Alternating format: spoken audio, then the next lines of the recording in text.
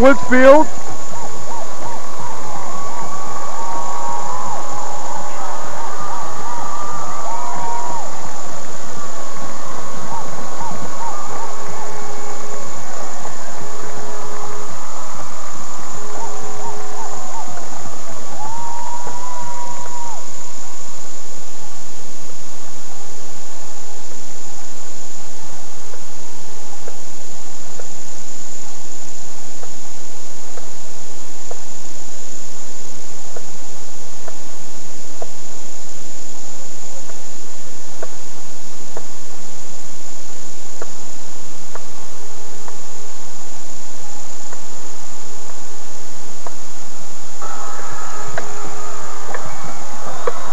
excuse me there, Matt, little difficulty there.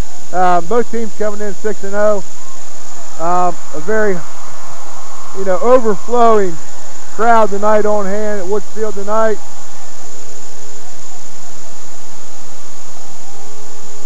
We expect a battle. Four quarters of hard, hard-nosed football. Got a perfect night for football. Little cool weather, but that reminds me of them old Viking football games, Matt. Little cold weather. Well, I mean, it's just perfect for football. I'll tell you what, reminds me of the old Green Bay Packer football games too. So, well, we, Matt, we don't want to start on that. That's right. But uh, getting back to the game here at hand, um, Shenandoah comes in six and zero. I believe ranked first in Region 19 computer rankings, and Monroe Central is ranked fifth in the Region 19 computer rankings. Really, the playoff type atmosphere already. Um, you know, I'm sure if things go as planned for both teams, that the both of them will still be around for week 11. But we'll find out tonight. You know, last week we found out what we had. We didn't get things going offensively like we wanted to. But defensively, got another good egg. And I'm telling you what, with this Barnett, this Sealock, this Cody Leach, Corey Brown, the Zirkle, the Hedge, the Miley, a number of weapons for the Shenandoah depth just the absolute biggest test of the year defensively so far. Exactly. And the thing about it is, you know, uh, Monroe Central and Shenandoah are both in the same region, you know, and like you said, uh, Shenandoah being ranked number one and Monroe Central being ranked number five, it's basically just like a playoff game. Right. Shenandoah kick, kick off, start the game here. It'll be number 19, Nathan Hedge. He's a 6'3", 200-pound senior. And, uh, you know, we talked about all year. We opened up last week with a big kickoff return. I'm sure Coach Costa and the gang would like nothing better than to come out with a uh, big kickoff return. And uh, they'll kick from the hash, and you might look for something tricky here like a squib kick. Uh, you know, maybe try to catch somebody off guard, which we got some, some guys up front, some linemen, so I hope they're ready. And it is a squib. It'll be picked up, and it won't be. It'll be picked up 10-yard line by Gabe Gordon. And he'll have a little bit of running room here in the sideline. Nice, nice return. I tell you what, for for a kick like that, and him mishandling it, and uh, you end up getting about 20, 25 yards out of that. He did a good job, and uh, he had good blocking up there too. And I want to note up here, our spotter picked that out, very observant. Uh, got a little help up there tonight. Uh, but our Seminoles were ready. Didn't handle it as cleanly as we hoped, but Gabe was able, to scramble upfield for a nice, uh, nice game. We'll start out right about about the 30 and a half yard line. And we'll come out the I formation and ring, wing right. Zeps will play a 5-3 defense. Just a quick toss.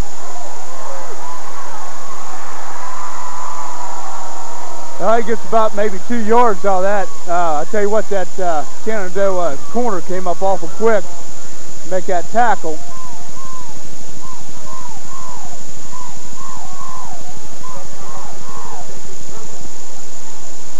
Number six, Jacob Zirkle on the tackle. You'll be hearing a lot about him tonight.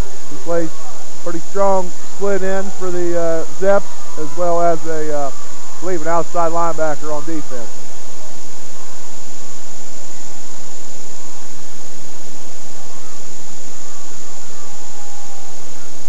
Noles with little redskin special here. No, it won't be, but it'll be Ishii on like a quarterback keep. And I'll tell you, he's close to first down, maybe about maybe about a half a yard shy, but it all depends where they spot the ball, Andy. Right, Matt. We talked about the 30 and a half, and it looks like they're on the 40 and a half. Monroe Central pulling two uh, linemen back this direction, and uh, Ishii really showed his quickness there. He's like a little, uh, you know, water bug back there in the backfield. and that's a good comment, John, Oh, if sure. you're listening. and we'll measure for first down, and, And he picked up it. the first down. So that's our first first down of the night, obviously. And I'll tell you, that's a, that's a good way to start a ball game right there, Andy. Picking up the first down, you know, um, when the second down about eight. So Right. So just what they want to do, they want to establish a little bit of a running game here early. They'll be in the same formation there. Two back set, wing to the right. They'll just run Big Corbin down through about the four hole. looks like that's just basically a wing right power right, Andy. Right, he's uh, he's upfield for about a two-yard gain. That'll be about second eight for Seminoles. Seminoles, as they do all year long, they run plays in. Sometimes the Millers, sometimes Fergie, sometimes Kenny Robinson. Shenandoah, I'm sure you've noticed throughout the year how big they are. Got a lot of good-sized linemen in there and a pretty athletic defense. Monroe Central in trip formation.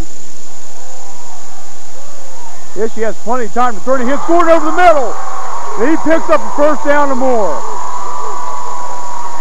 I'll tell you what, Andy, he had all kinds of time to throw. I think uh, it looks like is kind of a little bit leery of uh, Monroe Central's passing game. Right, Chad Burkhart, Eddie McConnell, Chris Jeffers, uh, Curtis Merrick, and Sean Hay there on the offensive line gave quarterback plenty of time. And to Ishii this week out of school. He felt pretty confident, and he hung right in there with a lot of patience, and actually went back to the middle of the field after they spread out to the right. So not, nice play by the Seminole offense. Exactly. They're spreading them out again here. Shotgun formation. Gives to Gordon. And he's sacked for about a three-yard loss there. Looks like Shenandoah read that one all the way. Right. That's number 58. Uh, John Horn, outside linebacker, pretty good size, 210 linebacker. And, uh, you know, a lot of times, you know, especially if they scouted us, a lot of times if we go shotgun with Gordon right there beside it, I'm sure they scouted. And the tendency sometimes is to run that fullback draw. Well, so nice play by the Shenandoah Exactly. defense. You got to remember, you know, the first, you know, the first quarter kind of, kind of feeling each other out, see what, you know, what we had Right. to work with. And Shenandoah's obviously a very good team for a very good reason, and that's because they got the athletes. Ishii will go deep. Nice toss. Knocked away by number six. Number six Zirkle again, as he played safety on that play. And I believe he's safety. I uh, told you wrong there earlier, but uh, Ishii, uh, nice toss out there. It's actually right on stride. Just a good play by number six Zirkle, and uh, you know, going for going for it all there, Matt. Yeah, well, yeah, like I said, you know, uh, kind of feeling each other out, and was kind of testing the waters there a little bit. That'll bring up a long third down. We'll go trip to our left. Ishii still in the shotgun. Shenandoah in a four defense this time.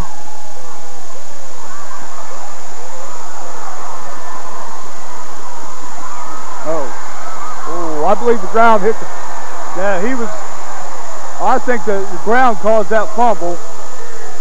You could see uh, Ishii as he rolled out, but they had a couple spies on defense that was watching him all the way, and two white jerseys rolled left as Ishii went to his right, and uh, Ishii only was able to pick up about seven yards, but the always dangerous Ishii uh, really made something out of nothing there. Sure he rolled and had some pressure on this side, but he did hit the ground. That'll bring up fourth seven, and that'll be a punt formation for uh, David Spielman. And he gave Spielman a little bit of room to work with, too. Ah, took a bad bounce.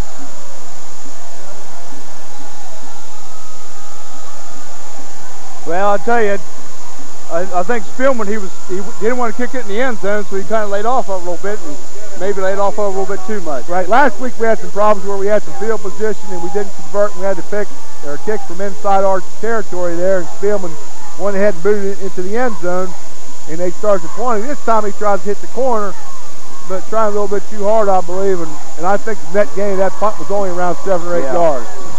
So not really what we wanted there, but after a couple first downs, we'll turn the ball over to that uh, very powerful, big, hard-running Zep offense. And we'll line up in a 5-3 with our backers edging up, and they'll hand it right up the middle, the big, huge hole. And that'll be Cody Leach, number 41, for some big yardage. Big 220-pound fullback. And I'm sure we'll be seeing a lot of him tonight, Matt. Well, sure we will. I saw Aaron Brown, uh, you know, was in on the tackle, but he's also going for the ball. You know, I think uh, yeah, that's a way to, you know, try to strip that ball away from him at the same time, have the other arm around him. Just in case you can't strip the ball, you can still tackle him. We uh, heard a lot about Barnett, and he's been getting the majority of the carries. And uh, you always talk about, well, Coach is saving something for the big game. Well, you wonder about Coach Weston, if maybe he's got a different uh, set of, uh, just different types of game plan for this big Oh, I'm sure he has something in his back pocket. That's a little bit better job, but Barnett's upfield for about three, four yards.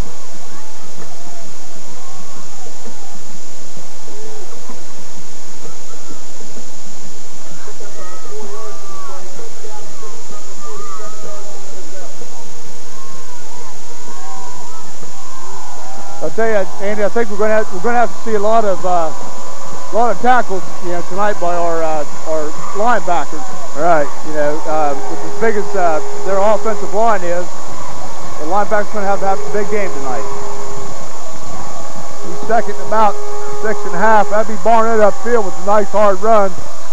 He'll have to be gang tackled as he is there. And on the tackle is number 44, Gabe Gordon, and number 70, Robbie Demerling. And we might mention he's back after a couple week layoff, and uh, you know, big, big to have him back. Obviously, Sure it is. I'll tell you, Andy, it looks to me like uh, Chando's just basically wanting to power up the field. Right. Nothing fancy, just, you know, hard-nosed football. And talking to some of the defensive linemen this week, Coach Sherman is telling them not to give any ground. If you have to, take two guys on, create a pile, and let your linebackers clean up. So big third down play here early by the Zeps.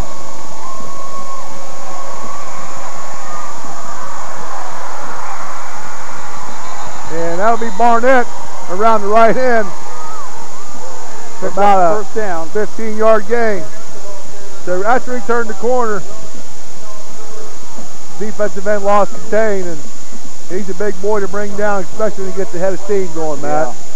That's one of them kind of guys you just have to hit, you know, from the knees down, and you know, hopefully take his legs out from underneath of him. Right. Yeah, he got tackled a big guy low, put the shoulder into him. Tight switch by the Zeps. Nothing fancy, straight up the hole. Barnett with a little athletic, you know, leap there. and big guy up in the air. Gained He'll about be maybe, upfield. what, three yards on the play.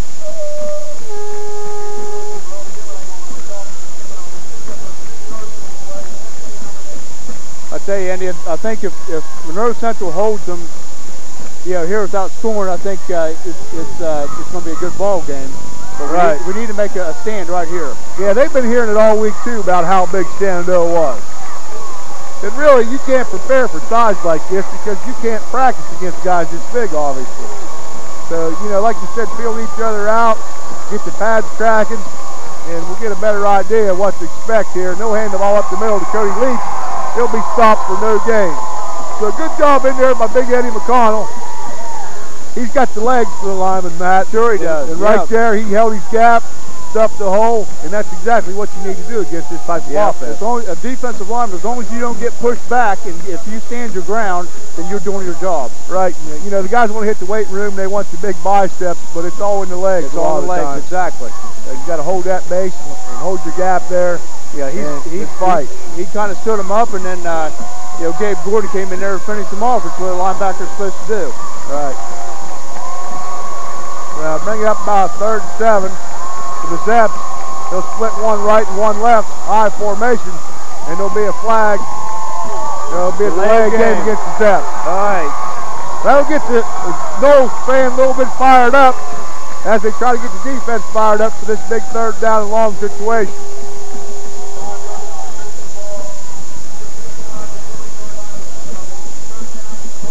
Shenandoah sure has got confidence in their running game, and uh, you know they may think about trying to get half of it here and half of it on fourth down. You never know, but they'll split right, split left, go in motion, reset strong to the right.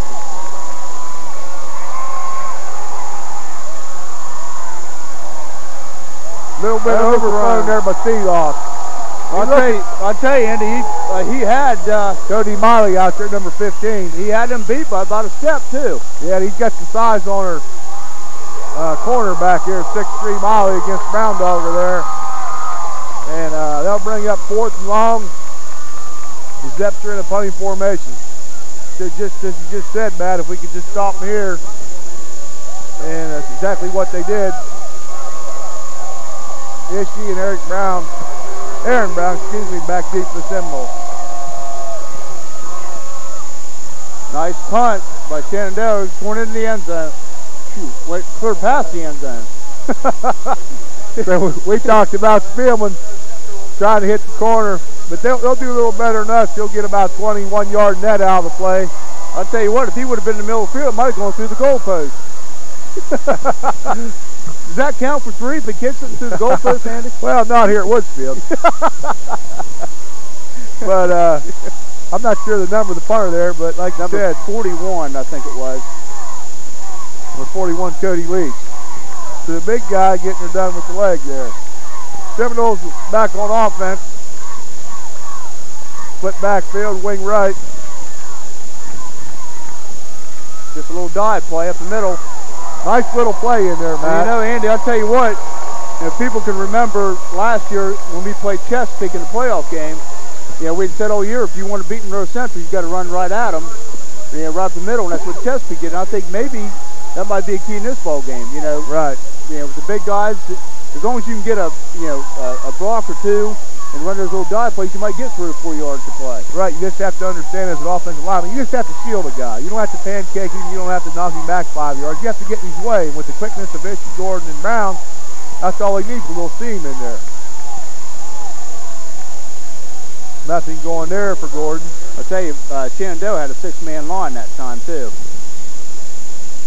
So uh, after a nice pickup there on first, ga- first down, excuse me, uh, nothing going on second. Now bring up third and very short. Uh, as we started on the 20 exactly, we just have to get to the line for the first down. So there's no need to measure. You can see from up here that it's about six, eight inches short of the 30 yard line. So wouldn't expect anything except for something straight ahead. Try to pick up a first Maybe down here. it's a quarterback sneak. It's, you know, it's hard to tell what got motion. And that'll be sneak. yeah. He's got a first down. Nice little drive there by the Christopher Jeffers. And they'll pick up the first down. So no need to get fancy, especially down in your territory like that. Uh, just quarterback sneak and pick up the first down. And you know, we'll, we'll go first down here and try to keep that running game established. Well, that's one thing about a game like this, Andy. Sometimes you can get too fancy. Right. You know, instead of just sticking to the basics, and you know, it, it's, it's easier to beat a team with the basics than it is to beat teams with all the fancy So wishbone set. And we'll pass out this. And Ishii. And, oh!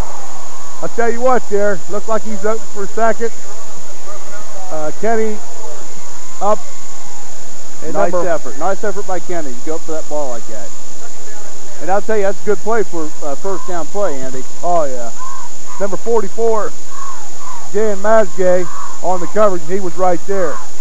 So a good job by Shenandoah defense. As they uh, looked like they was going to run their familiar belly series out of their bone formation, and then he dropped back and passed. So another bone formation. Kenny split out to the left. And they'll run that belly stick there. And Brown wrapped up and hog-tied and wrestled down the ground. So about a three-yard gain there. That'll bring up the third and seven. You got two minutes left to go in the first quarter. Still no score.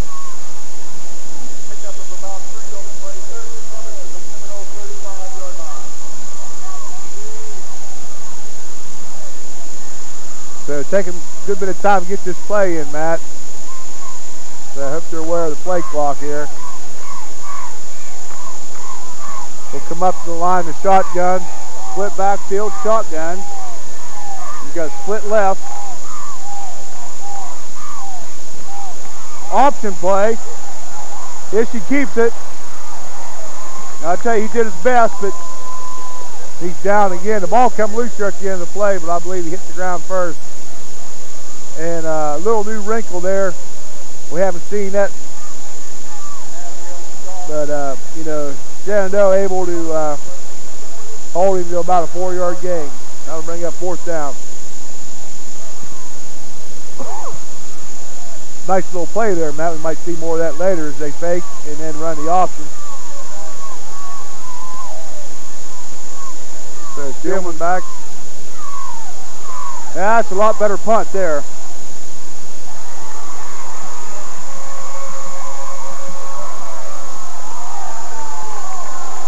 So number 50, Chris Jeffers down to make the tackle. Nice, nice coverage there by the Seminole punt team. Looks like Shenandoah starting out about the same spot they did last time, Andy. So early on, a couple first downs for the Noles, a couple for the Zeps. Uh, still 0-0 here in the first quarter with 38 seconds to go. So far, pretty just much uh, even game. Right. I mean, with our uh, highly publicized defense, you know, we it was very key that we held them there in the first quarter.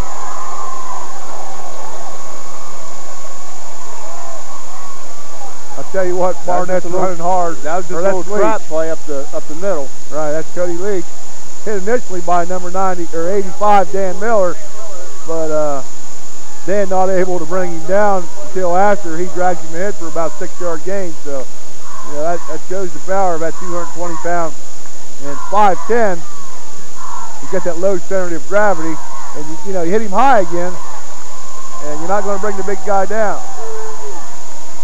So they'll try to get this off before the quarter.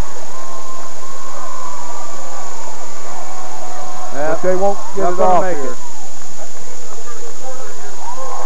So after one quarter of play, it's 0-0 here at Monroe Memorial Park here at Woodsfield.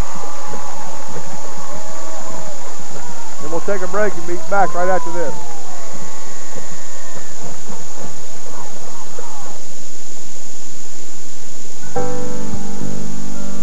FW Shoemaker Insurance Agency celebrating 100 years of service to our community. FW Shoemaker is an independent agency representing many reputable companies for all of your insurance needs. Only the most professional agencies represent Westfield Insurance.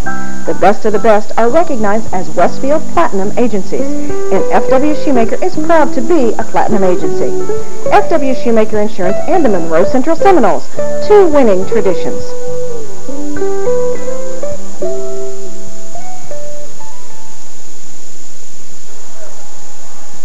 Okay, and we're back. Getting ready to start the second quarter. Still nothing, nothing. Head the other direction, Matt. It'll be a second about four. They'll go twins right. Five backfield. We're still in our 5-3 defense. And they'll split Barnett up the middle. And he'll be upfield for first down. So I'm sure they're splitting their two guys out right now, Matt. You know, just to get two guys out you know, it's pretty simple football. If to take two guys, two defensive guys out of the way, you know, for the middle of the field, then just run off tackle or somewhere in between the two, yeah. four, six holes. Exactly. It's like just uh, come right back. Just like Chuck said earlier, you know, they're, they're going to start spreading this out a little bit. You know, maybe uh, bouncing something up the middle, or you know, it just. Right. Same formation this time. And Cody Leach now he gets nothing. I'll tell you what, heck of a job there by Dan Miller.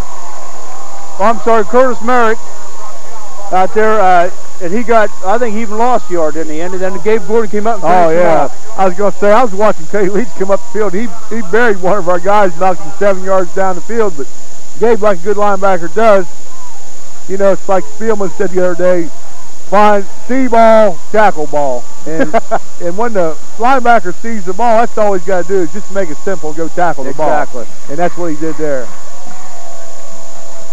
Brings up second down and 11 for Shenandoah. You got twins right, I formation in the backfield. They'll run a little bit. Good job. Oh, I tell you what, now that was one heck of a job by Gabe Gordon fighting off that blocker.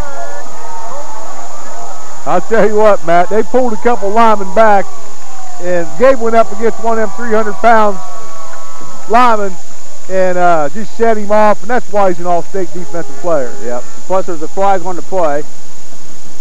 There's some Monroe Central Seminole down on the field.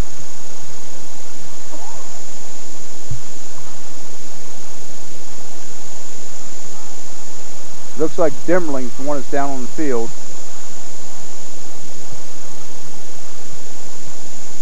So fine defensive play there by Gordon. Like we said earlier, he was an all-state safety, as I'm sure you're aware of. He was asked to move up to linebacker position this year. Done an excellent job. You know, he's got the speed, he's got pretty good size, and uh, he's got that knack for always being around the football.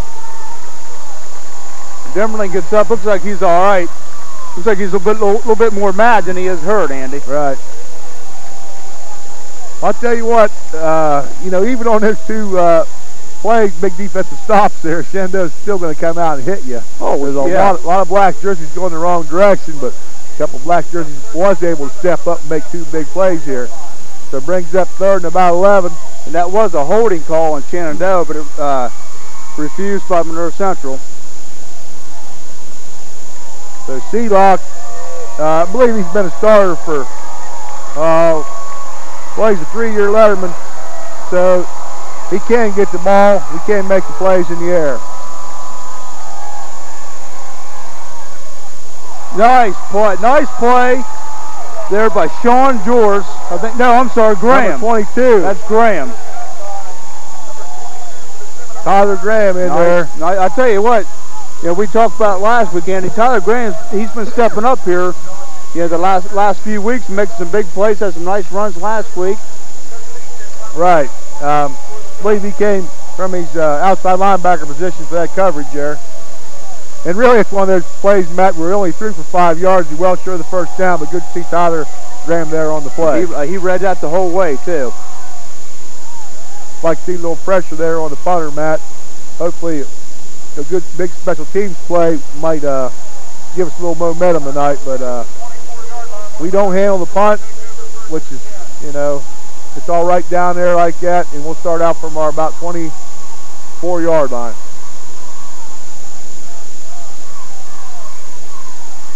Well, I tell you, and you know, so far this is the game that kind of everybody expected. Right. You know, uh, you know, here it is, nothing, nothing. Ten minutes left to go in the second quarter. Um, we didn't think it was going to be a, a real big scoring ball game. Of course, we still got a couple quarters to play. Right. And, uh, you know, Shenandoah, you know, looking at their past schedule, I believe they've outscored their opponents 75 to nothing in their second quarter, and that's unbelievable. So, you know, second quarter really big for the Zeps this year, but, you know, right there after giving up that first down, able to shut them down three plays in a row, and we'll go back to offense. Well, that says a lot for your defense right there, you know, shutting them down like that. Right, so after a short game there on first down, bring up second nine for the Noles. You got uh, Dan Miller checking out and Kenny Robinson checking in.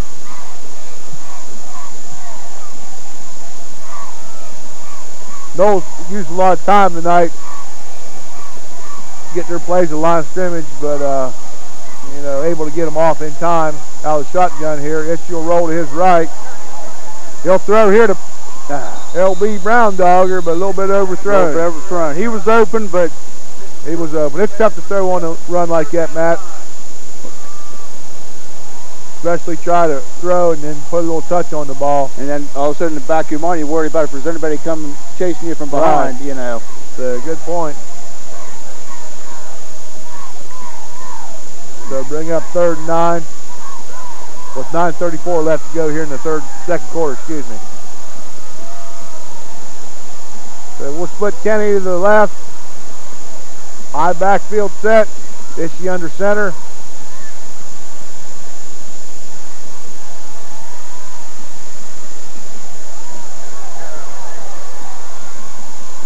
Nice good catch. Beautiful catch. Nice throw by Ishii. Nice catch by Gordon. So we watched Gordon there. He acted like he was going to stay in the block. Then he floated out into the flat there. Ishii didn't see him at first, but gave a big target. And I'll tell you what, Andy, you know, like I said earlier, looks like Shenandoah is more worried about uh, our passing game than they are about a running game because Ishii didn't have any pressure on there at all. Right. And Gabe put the two hands up, grabbed the ball for a huge first down. Big play right there, big play. Little Redskin special back to the left side of the field, I believe, Matt. But he gets well, he gets about two yards. So Gabe really not able to get anything going on the ground so far tonight. But you know, I'm sure that uh, you know every time he sets in the backfield, they got a couple guys just saying, "Where's Gordon?" Exactly. You know, which direction's he going? Where's he lined up? Well, that's so same forth. thing for Monroe Central. I'm sure they always want to find out where you know Barnett is. Right. Shotgun formation. Ishii keeps it.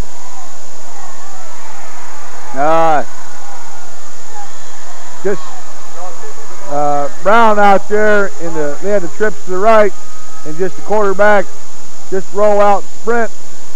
Quarterback keep, and uh, you know Shendo just, just did a nice job shedding the blockers, and Ishii really know where to run out there. Right. He made a good play. and here's Monroe Central faced with a third down and ten. And that's you know kind of hard. But you always got to you know wait for your third down before you get you know another first down. Right.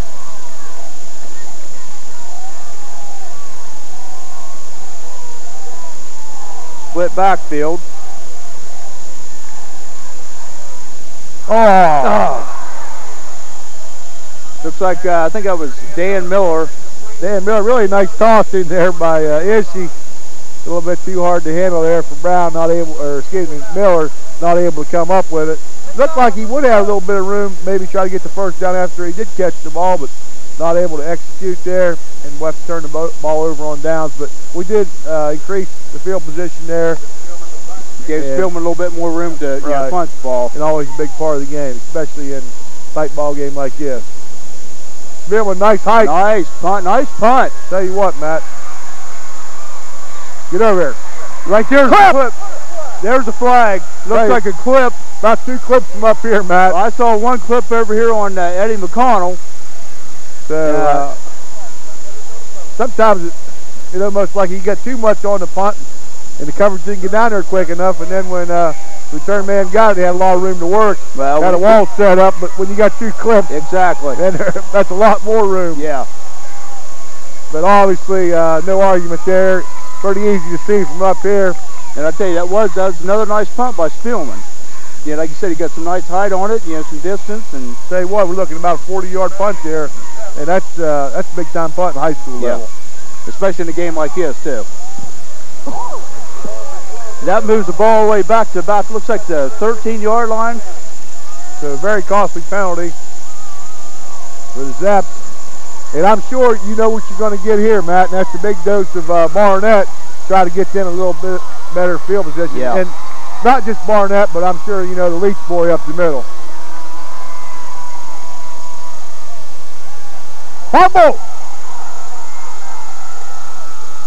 Ball on the ground there, Matt. Looks We- like that looks like Chandler recovered it. I was going to say, uh, remember how lucky we was, or not maybe luck, but we was able to pounce back on the balls last week.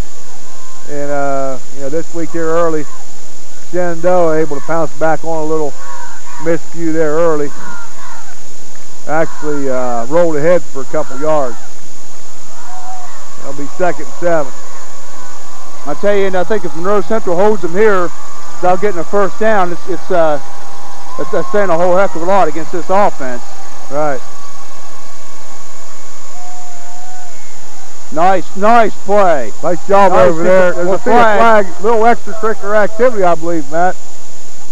Not sure what it was. That might be on Monroe Central if I'm We'll wait. Face face mask. mask. Very costly penalty. It all depends if it's a five-yard penalty or a 15-yard penalty, Andy. Yeah, hard to see from up here exactly what happened. strong Looks like effort by the left side of the defensive line for the Noles. Five-yard penalty. And it's still second down. Right. Uh, turn no gain turns into a five-yard gain, but I guess that's better than the uh, personal foul 15-yarder. Like you said, they'll still be second. Second about two. Clock running at about 6:20 by the time they get this play off.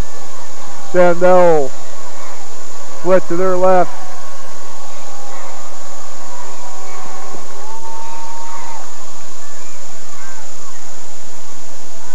Tell you what, they did a nice job. That's a nice fake. I was going to say, they did a nice job faking the no defense out. There's actually Sealock kept the ball. Shenandoah picks up the first down. So uh, a little surprised that they stayed to play like or used to play like that on a second down and short, I think they just kind of try to power it up the middle just try to get a first down. and then show that later when they really needed something. Yeah. But, um, you know, they're six and zero for a reason. They got good players. They got good coaching. So um, they'll come back first and ten.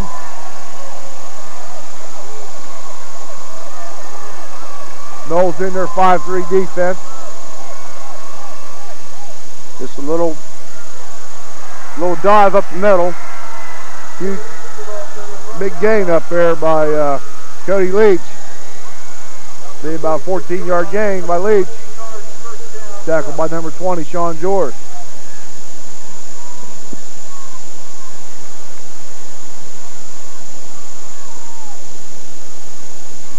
So, uh, you know, nice job there by the Zep offensive line. Nothing fancy, just pull back through about the three hole. And uh, I believe Ishii's either either bleeding or No, I think it's he's uh, yeah, he's got Oh. what they call a stinger. It's just kind of a temporary thing. I think it's in his left shoulder.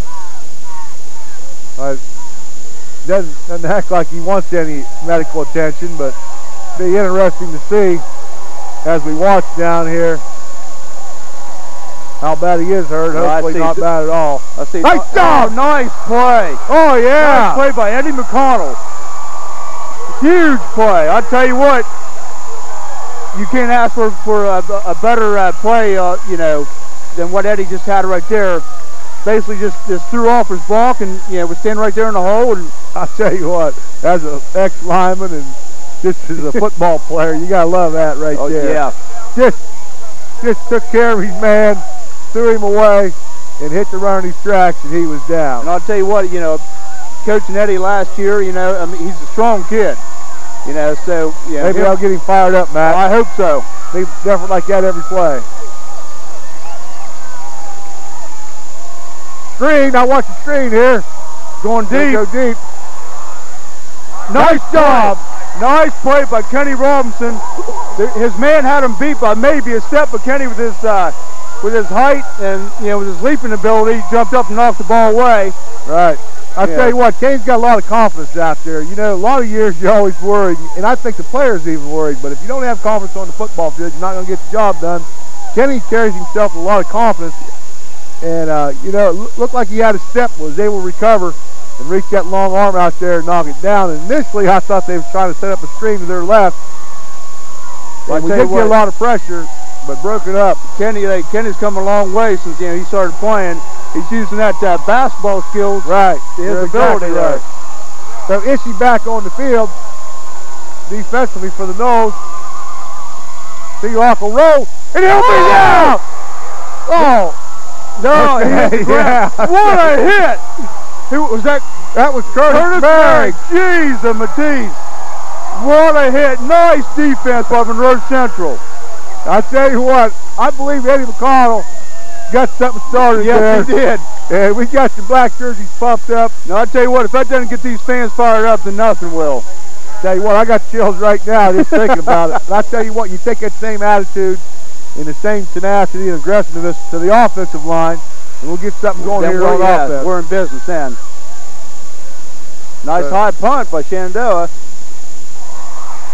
Fumbles the ball. Ishii fumbles, but looks like Sean George jumped on it. So, uh, or is that no, Brown? I'm sorry. Aaron Brown jumped on the ball. It's a really nice punt with a lot of height on it. Exactly what they probably wanted there. And, you know, a lot of lot of pressure on a young football player to try to make that catch with the, you know some white jerseys breathing down his neck. And Sure it is. So just able to able to get on it was uh, LB there for the Noles. So Graham will be in there at offense, number 22, and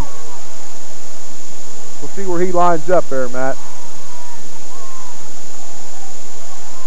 He's lined up in there beside Gordon at halfback.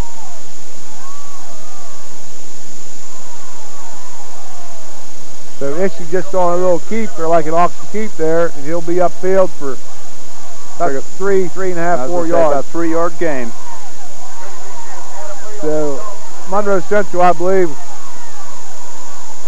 with uh, two timeouts left and uh, about 3.50 left on the clock here before the first half.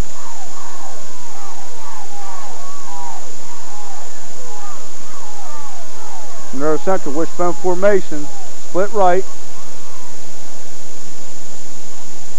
Ishii's going to throw it on the fade pattern. Yeah, he's going to. Oh! Oh! Number 44 from Shenandoah slipped.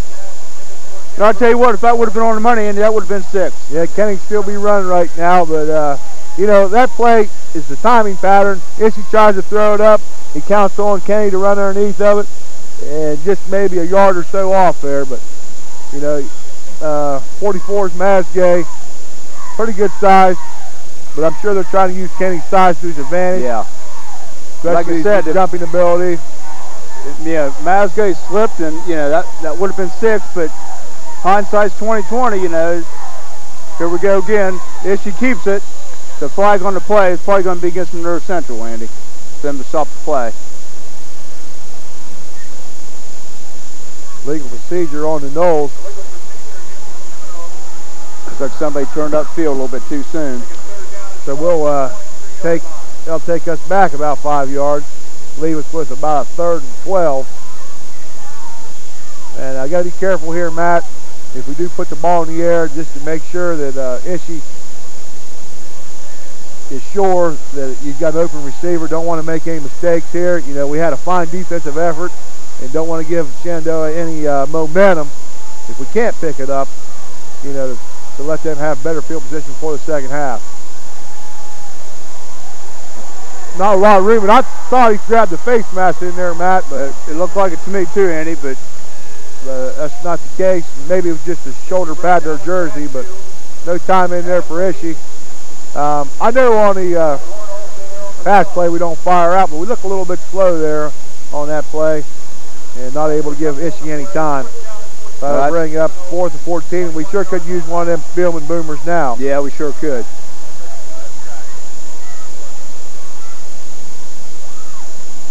Hopefully we have a good snap here, which it is.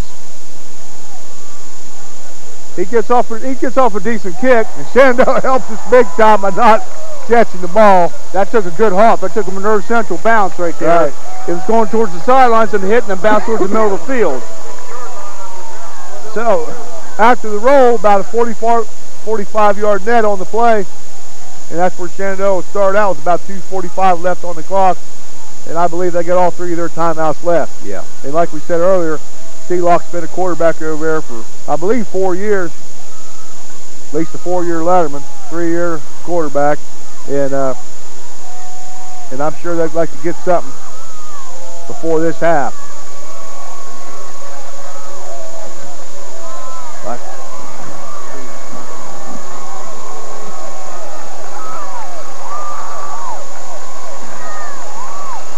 Like Yeah. Monroe Central kind of bunching up there in the middle, Andy. I noticed the same thing. He overthrows. I tell you what, and you know, uh, Sean looks like he, he was beat by about you know step and a half, maybe two steps that time too. Right, they ran a crossing pattern, and uh, looked like uh, let's see, that's 15 mile. He came from across the field and ran sort of a flag pattern from the backside. And uh, sometimes uh, there's a little bit of crisscrossing in there, and you might lose track of your man. And then George picked it up a little bit late, but luckily overthrown a little bit by Sealock. And uh, you know, we'll, we'll be glad of that, and we'll try to get some pressure on him here as his second about 10. And don't try to split a little kind of a trap play there, wasn't it, Andy, or like a delay? like a little delayed draw with a little bit of a trap there, but didn't fool the Noles defense they held their ground. Stopped Barnett for about a yard.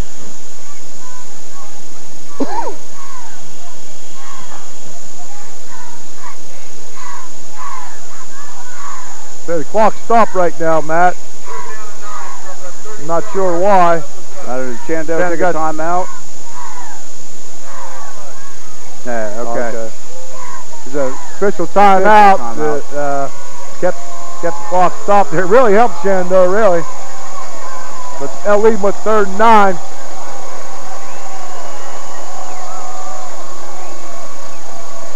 And they'll really, I'll nice job by Sean 80 in there. I tell you what, Throwing off, throwing his man off and, and going in after the tackle. Nice pursuit. Talked to 80 all week out there. He's primed for a big game, and uh, he came alive last week big time in that big effort.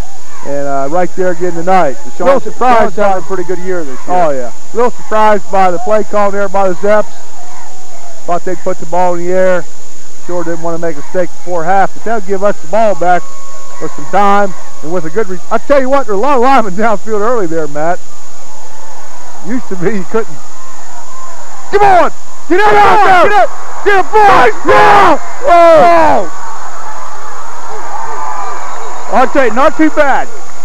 Not too nice, nice blocking in there by the punt return team. I, I tell you, I, I thought Brownie was going to break it, but Yeah, I, I tell you what, a couple white jerseys actually did a nice job of holding that to exactly where it was. But as I mentioned earlier, Matt, there's a lot of white jerseys look like they left too early. Yeah. I'm sure you still have to wait. the only ones allowed to leave early is the center. As soon as he snaps the ball, I go it used to be the uh, the outside guys, the the gunners they used to call them or something like that. Yeah. But um, you know, maybe, maybe I wasn't. I'm just sure they left a little bit early, which means they can get down in coverage a little bit earlier. So we might watch that next time. And,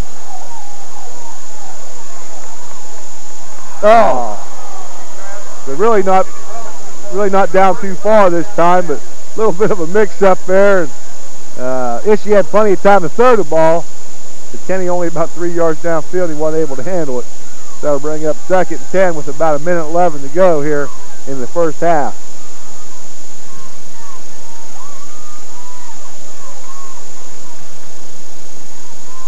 Monroe Central with two timeouts left. They'll go trips to the right.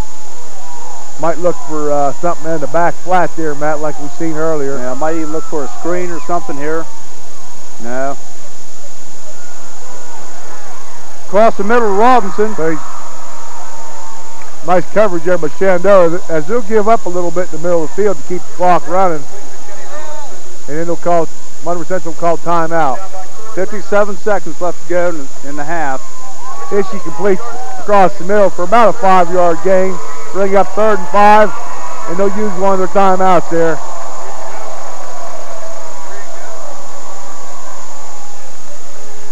So uh, we'll see here what Coach Chacosta's got in the playbook. Still a lot of time left. And I probably said, I told you wrong earlier, but it still looks like we got two timeouts left. So that was just our first timeout of the night. Everything we expected, Matt. A lot of hard hitting. A lot of good defense, A lot too, of good defense. Good defense. You know, battle right there in the trenches. Uh, sometimes you win, sometimes you lose the battle. But, you know, all in all, it's just 11 on 11 in the dogfight so far. And I'll tell you, and uh, you know, uh, against a big team like Shenandoah, um, especially up front, I think uh, Monroe Central's pretty much holding their own. Right. They're doing a good job in there. And, you know, our quickness is always a factor, you know, against the uh, bigger teams. And, you know, we're never really going to be bigger than anybody throughout our schedule, most likely. So, Well, that's what we always relied on in the past, and it was Right. quickness. And I I can't remember ever really being you know out outweighing a team you know, up up front. So after the timeout, Monroe Central will come out in the wishbone formation, double tight set. It's like Shenandoah bringing everybody up. Oh yeah, look at him. Ah. So I don't know if it looked like an offside play that we Well, tried to run. But- you can only have one man in motion at, at a time, Right. right? So we got some black jerseys clapping, but I'm not sure if we're going to get the call. Oh, we, yeah, we are. Yeah, Shenandoah. And I, you can see Coach Weston on the field out there, and, and I'll have to. I have to kind of agree with Coach West. You know, you can only have one guy in motion at a time. Right. It looks like Monroe Central had a couple. I know we we talked about that in coach's office the other day because I had a question on uh, some motion for the little league level. He says no, you can't have two guys in motion, but Exactly. you know they're not going to change their mind. No, I'm not. I'm not going to say anything. And, uh, and, uh, but you know what? Regardless, you know these officials are human. Oh, Uh, we're just thankfully made a mistake in our favor this time. Everybody makes But they're trying their best. They're not intentionally trying to call it one side. We'll come back first and 10. Trips right. Issuing the shotgun. Ishii's going for it on. Hey, throws it out of bounds. really really not open. No. Uh, Zirkle on the coverage all the way. Yes, she sometimes, well, I'm not going to complain one bit. Just that time, uh, he just thought that was his best shot and took a shot there. It uh, wasn't there, but we'll go second and 10. Yeah, sometimes, you know, kids, they, they get anxious and they, they want a touchdown. They kind of get impatient. And, uh, yeah, maybe that's kind of what Josh did there. He said he's, he's wanting to score before half. But he Um, threw it, he threw it in a place where nobody was going to get it, Yeah. really. That was, that was kind of, a, in a way, kind of a smart play, Andy. Right. Monroe Central comes out and trips again.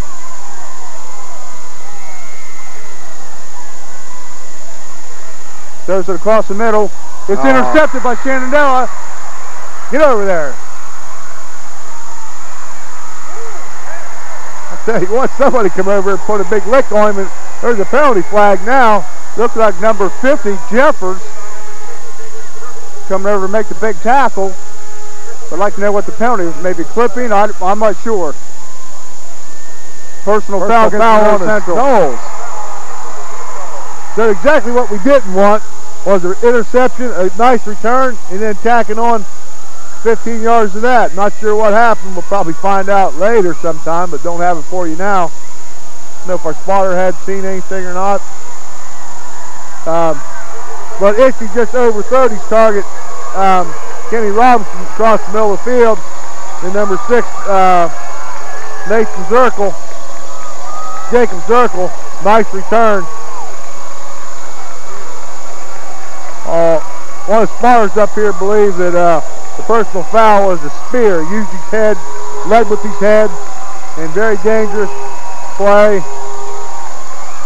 And that gave uh, Shenandoah that 15-yard personal foul penalty. Sealock will go deep. He throws that ball up. And it intercepted! I'll tell you what. Kind of a gift coming back to us. That ball well underthrown. Shenandoah the receiver had some uh, had a lead on us, but the ball was underthrown. We're able to pick it off. So after a mistake-free, turnover-free ball game, it's back-to-back interceptions. Well, people are getting their money's worth tonight, Andy. Right, and with 29 seconds left, Matt, I believe that Coach Acosta's not going to take any chances here. And unless Shenandoah calls timeout, we'll just run the ball up the middle. and Just try to hold on to it. Quarterback keep. Shenandoah will use a timeout. Really, Matt, that's probably a smart thing to do. The, the center quarterback snap should be automatic, but you never know in a big game. So you might as well use them uh, timeouts But- and make it at least snap it. Exactly. Because you can't carry them over to the second half, so Right. you might as well use them when you can.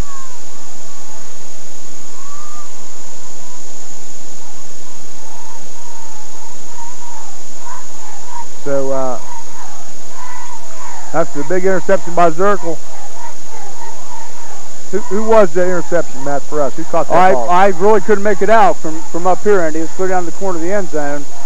Um, I you know, really couldn't make it out. you know, if it would have been a safety back there, probably would have been Sean George. Kenny Robinson on Kenny Robinson making the interception, okay. So nice job in there by Kenny. Take a look around the field here, Matt, as we got a little bit of, of a break. I I see the hillside's full and the sidelines are packed, you know, three people deep all the way around the fence in the infield there. Now, this is one of the bigger games in the in the valley this this Right. weekend, Andy. With uh, River playing tomorrow and uh, Beallsville playing down at Fort Frye. I'm sure a lot of them fans are here. And uh, got a couple couple buddies of mine even come all the way over from St. Clairsville to see this ball game. So everybody here tonight, see a good ball game.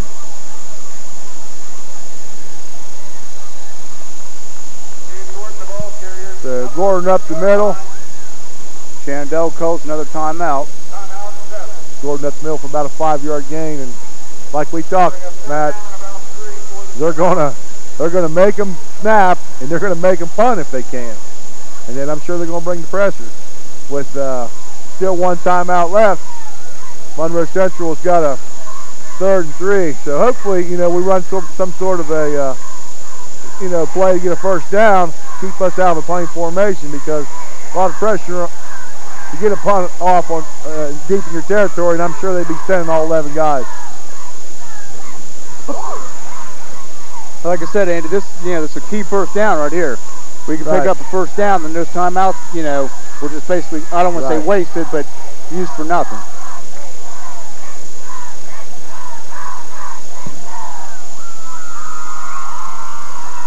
And I'll tell you, you know, so far Coach Sherman ought to be, you know, pretty happy with the way his defense has been playing. You know, Oh, uh, yeah. I believe, uh, I have to check here at halftime on the stat guy, but uh, probably even on first downs. Five or six apiece for both squads.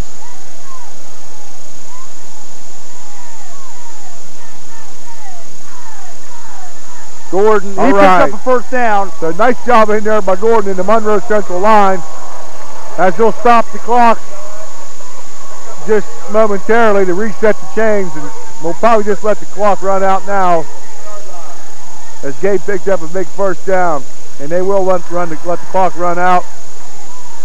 And after a hard-fought first half here at Woodsfield, it's still 0-0. Good, good first half, and on, both sides of the ball. I tell you, you know, North Central kept up with them, and uh, you know, it, it evenly fought, uh, you know, first half, and I think uh, the second half is going to be even better. So after uh, both bands play for the halftime break, we'll be back after that.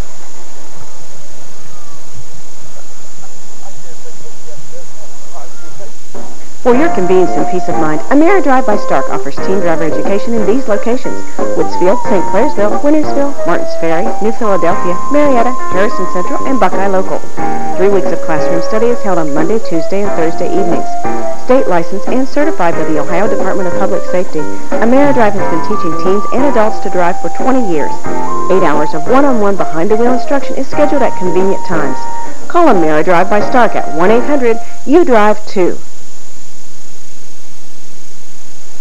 The Citizens National Bank of Woodsfield, home-owned and independently operated since 1933.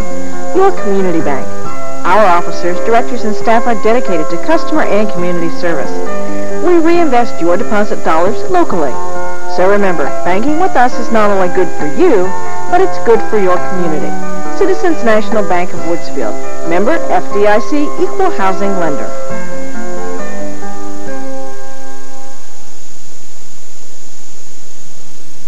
I'm not buying till I check on Ford. When it comes to the regular maintenance of your Ford, Lincoln, or Mercury, come to the service department at Doan Ford.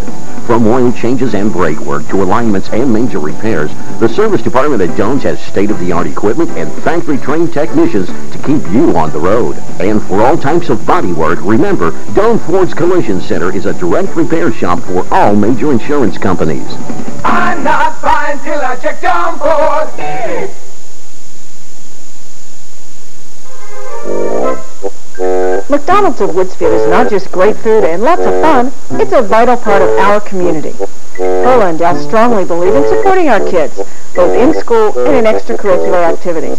That's why McDonald's is proud to be the exclusive halftime sponsor for the Monroe Central Seminoles. They're happy to support our players, our cheerleaders, and our band. After the game, celebrate at McDonald's of Woodsfield, where we love to make you smile.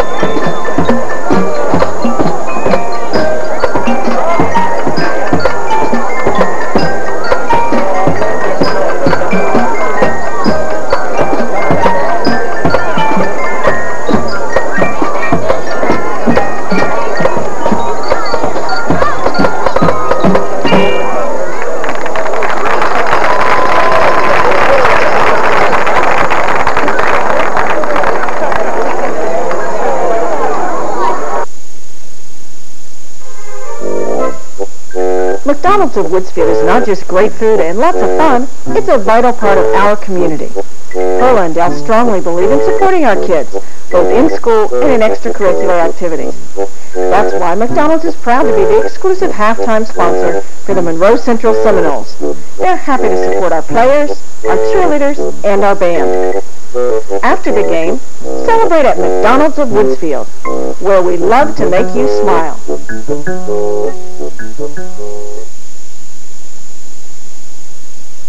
New name, same great service. Ormet Credit Union is now Ohio Valley Community Credit Union. Visit us in our new facility in Hannibal, built with more convenient parking and easier drive-through. If you live, work, or attend school in Belmont or Monroe counties, you are eligible for membership in the Ohio Valley Community Credit Union.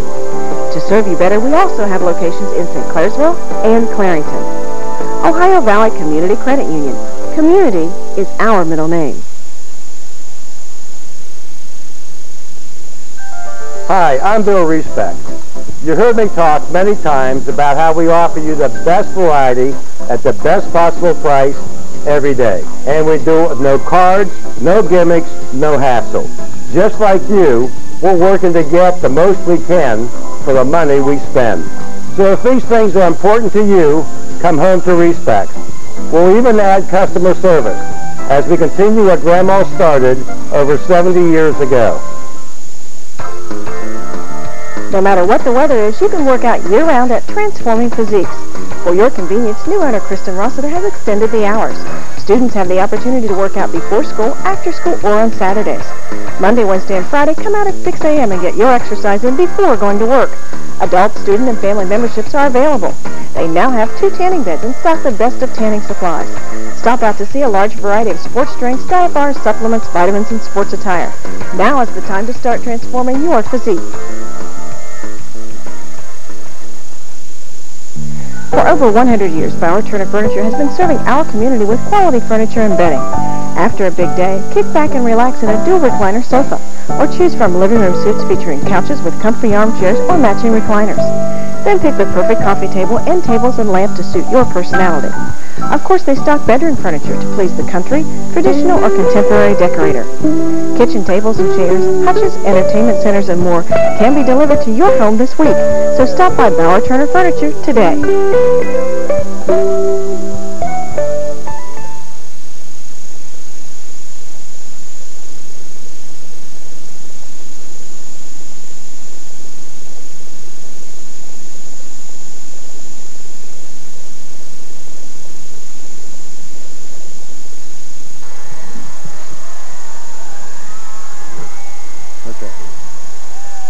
Okay, here we are, second half. Monroe Central nothing, Shenandoah nothing. And uh, Andy, I'll tell you what, uh, a whole new ball game now. Monroe Right, Central doing a heck of a job on defense the first half. Of course, Shenandoah doing, you know, kind of, you know, matching them. Um, and, you know, it's, uh, like I said, one of the big games in the Valley. Uh, and Monroe Central, you know, you know, as far as weight-wise, of course, you know, they're uh, well behind Shenandoah, you know, as, uh, matching up uh, evenly, you know, but uh, so far Monroe Central, you know, holding their own. Right, Matt. Very fine first half. Most teams about the same success on the ground, about equal first down. We'll start the ball, we'll start the half on defense. Our goal, as always, is three and out. It seems, seems to be fine after that stinger there in the second quarter. A little bit concerned there, but I believe he'll be fine. Um, the key to the second half, obviously, will be not to turn the ball over, penalty-free football. I'm sure Coach has got a few things he'd like to try. He didn't show in the first half, as well as Shenandoah the same way. I wouldn't be surprised if uh, we run a little bit more of a counter or misdirection type plays. Or even maybe even just a you know a screen or you know you know something like that, Andy. Right. I don't even think I don't think we ran a screen all year, have we? You know, I wasn't able to make it for a few ball games, but uh, games I've saw, I haven't seen a screen yet. So Merrick, Curtis Merrick will tee it up for the Noles at the 40-yard line. Zirkle is deep for the Zeps. So Merrick having success early in this season with, uh, you know, getting the ball down around the goal line. I don't know how he's really going to try to kick it here, and if he's going to try to kick it, you know, so it's uh, hard to return or, you know, kick it right at him. Only seen one kickoff tonight, and that was the opening kickoff. And uh, Shenandoah did give us some sort of a squib, and we'll see what Merrick does here. He'll boot the ball. Pretty good kick.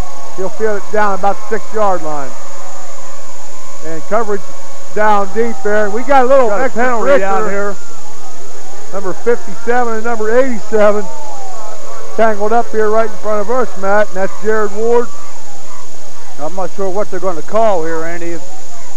Holding on to Shenandoah, maybe. They're well away from the play. It's Holding going to cost Shenandoah. Very, very silly penalty, Matt, for the Zep. Well, the thing about 30, it is, 40 yards away from the ball. Exactly. I mean, this, uh, Ward had no no uh, uh, thing on the play here. You know, had nothing to do with it. And here's the guy down here, you know, holding him. I mean, that's just.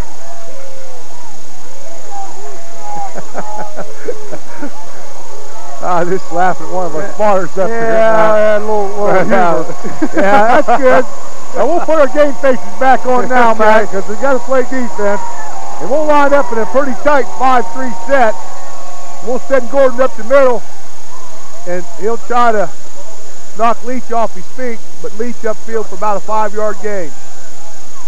Excuse me, that'd be Barnett on the carry for about six yards. The Monroe Central lined up in a 5-3, but it was, our linebacker stepped up. Was guessing run, they were right, but uh, Shenandoah able to get nice pickup on first down. Second and four for the Zep.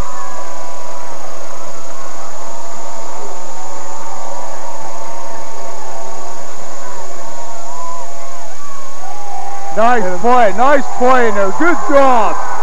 You look, look how many black jerseys are on that pile. I pile, tell you Matt. what, I see at least eight in there, Andy, on top of him.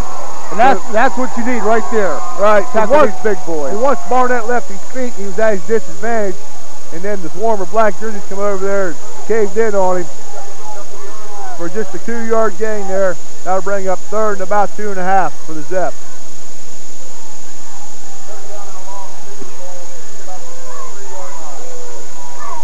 So uh, got Fergie in there at defensive end. Hadn't seen a lot of Stephen Havick tonight. I don't know, is that...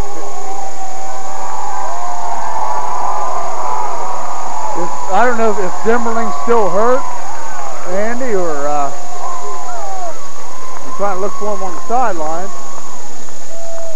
Well, um, uh, Shenandoah has to burn out, burn off a timeout here early in the third quarter. Not sure if they didn't get the right people in or just really wanted to, you know, get a first down here and make sure they had the right play called. But they did burn a timeout. And that could, you know, later on in the game, it could be kind of costly. especially in close, close excuse me, especially in a close ball game like this, Matt. You know, a lot of people at halftime wondering what the score will be at the end of regulation. You know, with the zero-zero score here at half. As the weather gets a little bit cooler, ball may be a little bit harder to handle. Football gets a little stiff on, on these evenings.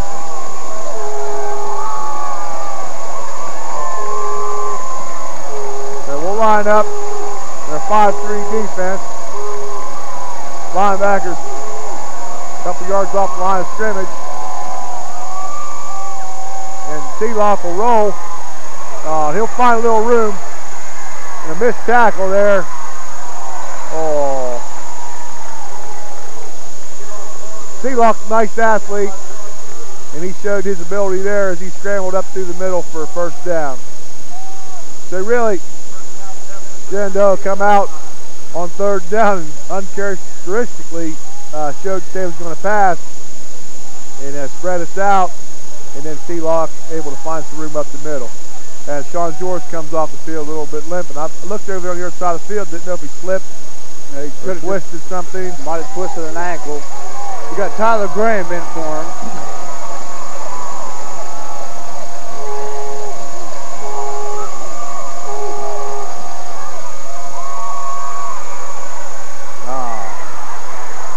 Tell you what, Barnett Hughes showed a little bit of his power there. As actually ran over a couple black jerseys and up the field for one of his biggest games of the night, really. Yeah. of course, it wouldn't have been. Kenny Robinson yeah, missed that tackle. He hit him too high, like we talked before, right. Andy. And uh, you can't hit a, a, big guy like that high. You got to hit him low. Well, another thing is you got to hit and wrap. And if he's got to drag you, he's got to drag you. But you hit and wrap, and then you wait for some help. Exactly. Just hold on. That's easier, uh, you know, said, especially from up here.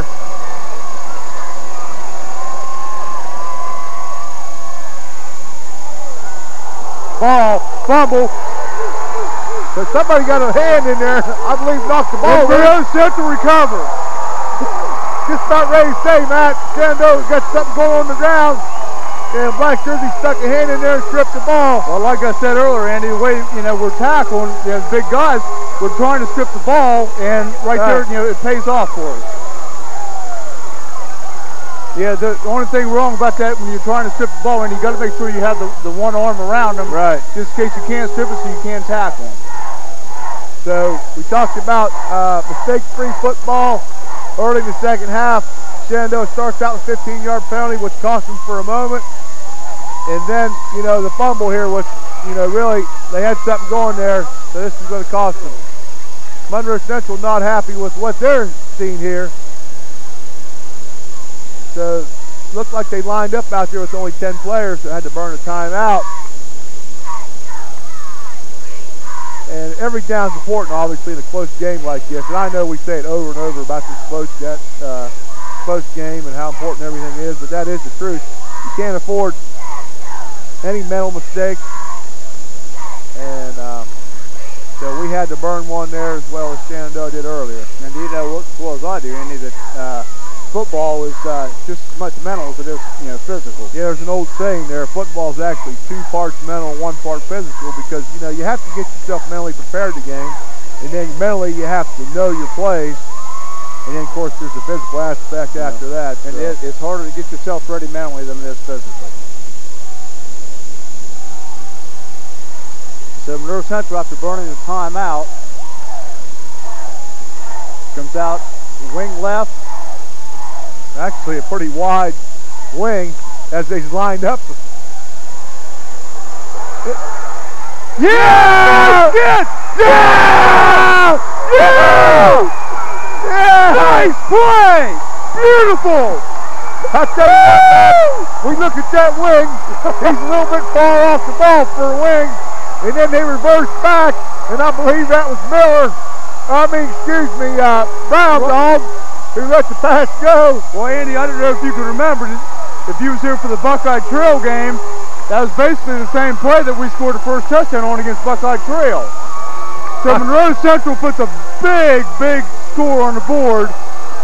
I'll tell you what, Matt, uh, you talk about the play calling there, you think they're waiting to run it, waiting to run it, waiting to run it and then they they tell themselves, well, this is the time to run it. And, uh, you know, a little bit of pressure on there when Brown as he threw it, but uh, he kicks it in for the extra point. And I'll tell you, Andy, I'm, if I'm not mistaken, this is the first time that Shenandoah has been behind all year. I tell you what, Coach fired up on the field. Uh, offense, fans going wild here at Woodsfield. Huge play. Nice, nice play, nice call by Coach Cross on that. And uh, I don't know if you noticed, Andy, when, when Brown was getting ready to throw the ball, uh, he really didn't have a handle. I think he just basically palmed it right. and just started, you know, threw it down the field. And thank God he had enough power behind I'll it. I tell you what, uh, Ishi was carrying around high school football, and if you get away from the game a little bit, I coach fifth and sixth grade football. We use a smaller ball. You don't realize how big that high school ball is. Especially and, uh, when you're not a big kid in your hands. Right. Like and I'm thinking, he did one heck of a job getting that ball off and then getting something on it. And the play covers about 55 yards. Catch and reception and run afterwards is uh, is Miller. Well, I tell you what, Miller uh, escaped one would-be tackler and then took it on in for the big score. We ought to start calling him LB Do-It-All Brown. I tell you what, I tell you what, we watched him for years playing the shadow of the Wilsons and Gordon and some other great backs just waiting for his opportunity. And I and his brother, of course, and you knew all along when he finally got his chance, he was going to make the most of it. We always knew that he had it in him, and you know, Right. he's, he's really shown it this year. So, you know, you talk about the zero-zero tie, and just like that, coach comes up with a little, you know, reverse pass, and uh, Shenandoah stepped up, and we got behind him, and Nice kick. Look at that. yeah, no, you can't, You can't bring it you out. can't run out. tell you what, they're down here again battling, and I tell you what, there's a little bit of adrenaline there. I tell you, Monroe Central is fired up. And like I said, you know, if I'm not mistaken, this is the first time Shenandoah's been down all year. right? Yeah, I, I could be wrong. And let's see how, uh, like see how Shenandoah bounces back. But Right. like we said, Monroe Central, their adrenaline's going, so uh, it, it's, it's going to be tough. defensively, you got to be a little bit careful that you don't over penetrate here. You know, you're pumped up, fans are loud here. You got to still play your, uh, you know, your gap. You got to take your one yard cross line scrimmage and try to find the ball and make the tackle. So, wouldn't be Exactly. surprised if Shenandoah tries a little bit of a, uh, Well, they, they're going to want to try to get this score back quick. yeah, but To make it an even game again.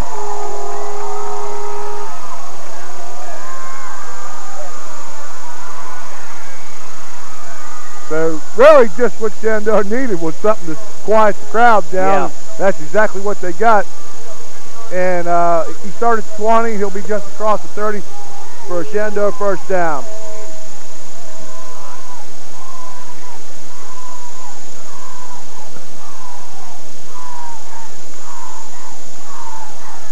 Like I said, yeah, Monroe Central needs to, yeah, it's, it's good to be pumped up, and they need to kind of settle down here again, kind of, you know, you like we said earlier, you know, you know mentality, mentally, Right. you, they need to settle down. Right. And Shenandoah split. No luck, right a little bit back. And tell you what, Barnett's running hard in there, but hit after uh, about a two-yard gain. That'll bring up, no, I'll tell you what, he got a little bit more than I thought there, Matt. now you got about look over, we got about four or five, and So nice job in there by Barnett. Tell you what, you know, senior-led group over there by Shenandoah. I mean, like you said, probably the first time they've been down all year. They're probably saying in the huddle, "Hey, you know, let's let's get back to the basic football, like we know how to play football, and just try to shove it down their Yeah. throat here." And they got some studs over there, obviously. Oh, sure they did. So Brown giving out some orders there, and that'll be George Sinichi out to our right. Oh, That'll be- Be number 15 That- over there. That's a costly Miley. right there. Costly penalty. And that'll get our fans back into a little bit. Really no excuse. Well, I'll tell you what, you know, not not bragging because I'm, you know, like we're from Woodfield, but you can't ask for better fans than what we have here at Monroe Central. Oh, year in, year out, Matt, you're exactly right. I mean, you could tell just coming down Eastern Avenue tonight. All week, really, all the signs in the yards, all the Seminole flags hanging from the telephone poles. And I tell you, football season just really lights this town up too. Oh, you know. So I'll bring up second and 10 after the penalty. The Zeps will go twins to their left. T-Lock, Another well, flag on the flag. dead. Dead ball foul. Delay a game. Delay a game. I'll tell you what, uh, Shenandoah's kind of helping us out here, Matt. There they are. They come back after the huge um, touchdown, and they got 10 yards on the first down play. And then after that, two consecutive, you know, really no excuse for them type of penalties right now. And that'll take a first or a second five back to a second 15. They'll come back in that same formation for the third time.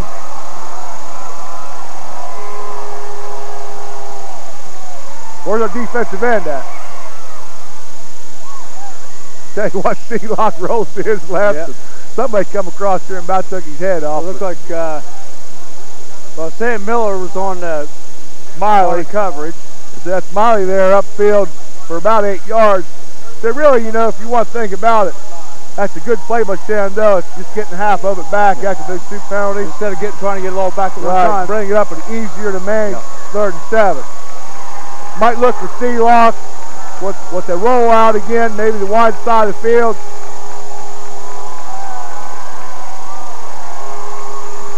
Come back Tennessee get some players in late here. Same formations before, Andy. See if our defensive ends do a good job. And they got to fight out. You got to fight out there. You got all kinds of time. Oh, jeez oh, way well, just like you said, Matt, just got too much time back here. And eventually, number six, Jacob Zirkle, able to find some room out to his right, and a big play. Coaster, Coaster Costa downfield, screaming about something. I think he's screaming about some holding penalties or something, but I'll tell you what, when he sees something, he's pretty emphatic about it. Well, I'll tell and you, I'm Andy- sure he's right. On a play like that, Andy, and you know, you was, you know, being a lineman, it's kind of hard on it when you scramble like that for somebody not to hold. You know, Right. for him to have that much time, you know, back there. Right. I tell you what, um, Sealock made a nice play. Zirkles kept coming across the field, trying to find that open pocket. And so he did a nice job. Tell you what, that's tough to cover, but uh, Dan Miller did a nice job out there hitting and uh, hitting the tight end or hitting the wing there, and then he's got to he's got to play contain and play pass, and then hope for his help there in the flat kind of leaves him out there all alone, but he's got, you know, still his job is contained. And uh, Sealock and Barnett just not able to execute on that. Well, that's one thing about Sealock. You can't let him out around the end. Or, or defensive ends have to keep him inside Right. And, and wait for our linebackers to come up and, you know, for But help. as the uh, defensive ends tend to string things out, we got to have that flow defensively to cover as soon as he turns it in. Shenandoah will pull guard on a little bit of a quick trap. I tell you what, Kenny come in there and threw his shoulder in. You know, you don't hit and wrap like we want to, but against the big guy there, he's able to knock him down. Barnett was actually uh, stumbling a little bit time he got to Kenny, but nice job there by Kenny. Brings up third down and about four for Shenandoah Zep. You know, again, Matt, uh, with this type of size, you know, in this type of field position they're in right now, we're looking at maybe four down territory.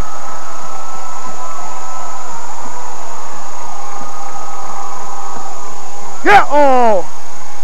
Tell you what, about the same play they ran on first down. And that's Cody Leach out there in the flat just Seminoles seemed to guess right. And then when Steve Locke uh, kept the ball, he's able to roll out from contain there. Like I said Find before, Cody Leach out the got flat. caught up inside a little bit Right. too much. And So nice, nice execution there by the Zeps, and really overcome a couple mental mistakes there, and got this drive going. And they'll be first and ten uh, down at the Seminole 25-yard line. So they've got to regroup a little bit. Try to try to keep it to a minimal game here on first down.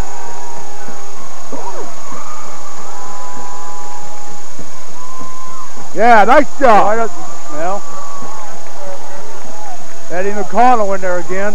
So hitting the backfield, and Barnett still goes ahead, or excuse me, he just gets back to the line of scrimmage. Maybe even lost a half a yard.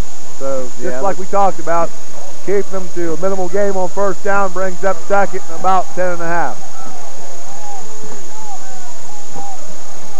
See now, you know, all of a sudden Shenandoah's, you know, with their backs to the ball, they're trying to play catch-up ball now. Right. Come out with that formation. You got twins left, I formation.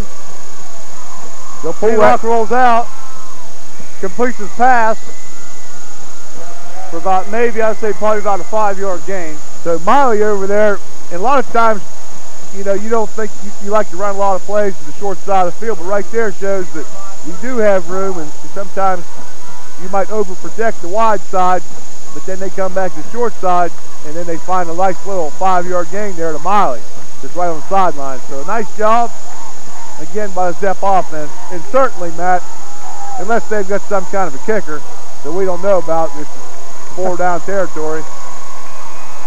And they'll, they'll split number seven, Jamie Smith, wide to their left. Looks like he's short, Andy. It's just a little fake up the middle of the fullback, and then the, the quarterback just followed him right up the hole. So nice little play there, really, Matt. You know, because you think, well, you got to stop uh, Cody Leach, and then uh, and then Cody turns into your blocker, Yeah. and Sealock follows him up through the hole. So bring up about fourth. Kind of, kind of interesting to see what uh, what Shenandoah's going to. If they're going to Right. try to run one of their big horses up the middle to get a first down. I'll tell you what, you know, you brag about your size, and if you're a Shenandoah and Zep fan, you'd expect nothing else. Monroe Central, they'll still keep their five down linemen with the linebackers up short there. They'll give the ball to Barnett, He, he picks up the first and down. he'll get the first down. So Monroe Central initially with a good stand there on the line of scrimmage, but uh, Barnett kept the leg drive and uh, veered to his left and was able just to get that first down. And I'll tell you, Shenandoah, after those, there's uh, two costly penalties they had, they're just basically driving the ball Right. straight down the field. So, not that they needed a wake-up call, but definitely they said, let's get her done, boys. And they got in the huddle, and they come right down the field here on us. Couple 300-pounders in there, like we noted earlier, leading the charge. Barnett, tackled by Gabe Gordon and Sean 80. Picks up about, looks like about maybe four yards on the play. To bring up about second down and six. Tell you what, Matt, uh, that's when, uh, you know, a team like this is so dangerous because they, they got a few guys they can go to, so you just can't key on Barnett. Barnett now is a lone setback, and they'll give the ball to him, and I tell you what, think he's running up- hard. Looks like he picked up another first down. Nice size hole on his left side of the line of scrimmage, and tell you what, he, he ran over some people there. So that'll be first and goal from down about the about the one and a half, two yard line. So I'm sure they're going to come straight at us, Matt. Just have to hold your ground. Do the best you can. Don't let Sealock keep. Oh, I think they caught him down, Andy. yeah, they stopped his forward. Wait a second. Wait a second. You got one referee spotting the ball, and you got another one signaling a touchdown.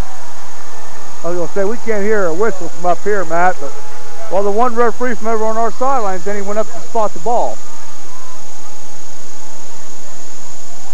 yeah, I was going to say, uh, where's, well, it will stand as a touchdown, Matt. As Sealock kept the ball, kept his legs, or excuse me, legs driving, and we thought maybe we stopped his forward progress, but he rolled off into the end zone for the Zep score. So a very important extra point.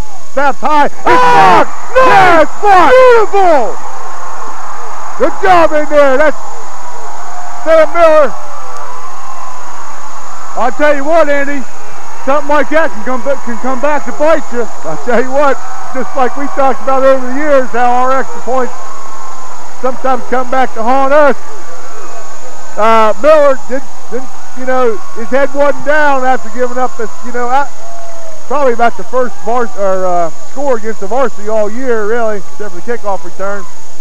He was able to get a lot of penetration in there and laid out and blocked the extra point. Snap was a little high. Took the holder a little bit of time to get her down. And a huge play by, I believe, Sam Miller there. So 149 left to go in the third quarter. It's Monroe Central 7, Shenandoah 6. It'll be uh, Brown Dogger, Gabe Gordon, And uh, Seidler. Tyler back deep for the Red, or excuse me, Seminoles. I wore my Woodsfield Redskins shirt to school today, Matt.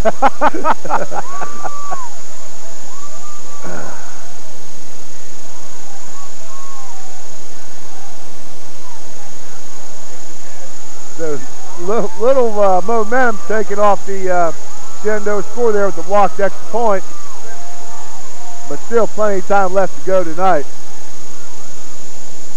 And they'll squib another one. Gordon will pick it up around the 20-yard line. And he'll get the ball, pretty nice return up to about the 34-yard line.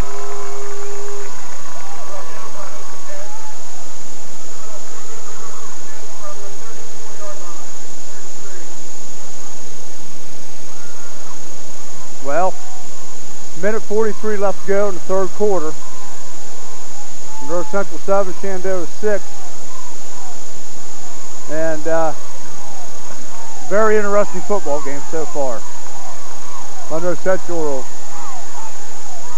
line up in their uh, Liz formation, shotgun, and it'll be Ishii keeper. We'll get a block on the end. I'll tell you what, we see a little speed of the Zeps out there as,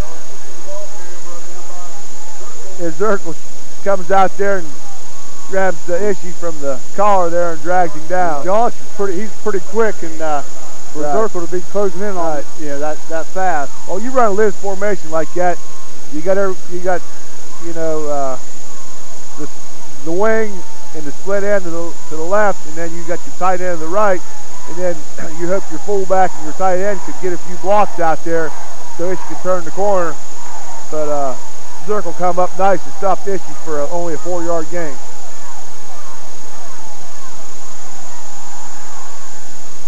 Nice job. Dan Miller, nice catch, and picks up a first down. I'll tell you what, nice little zippy pass right across the middle there. Miller took the ball and headed one direction, and that was upfield. You really like to see that, don't you, Matt? Oh, sure you do. I tell you, it looks like uh, at halftime the coaches, I'm sure they saw something the first half because they've you know come out with a, a few different plays here in the second half. Right. I'm sure they saw some weaknesses and uh, which is you know, uh, Coach Briggs in the press box. I'm you know I'm sure he's he's uh, spotting that out. Ah, shoot.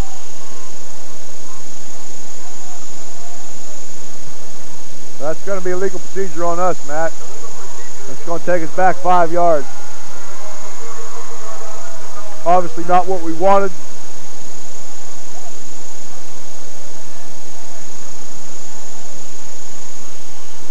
Second, first down and 15 from our own 45-yard line. So Monroe Central will break the huddle and they'll come out a double tight wing right set. That's our Redskin specials. Merrick initially with a, a nice pull block, but not much else over there for Gordon as we tried that at two or three times tonight. That was Not the final play of the third quarter, Andy.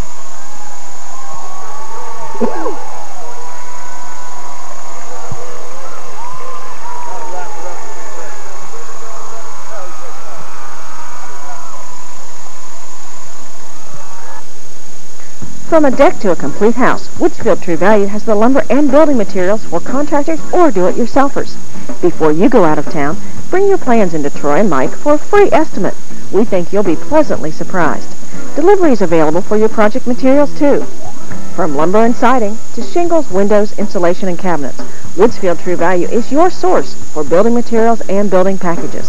So give Troy or Mike a call today at Woodsfield True Value.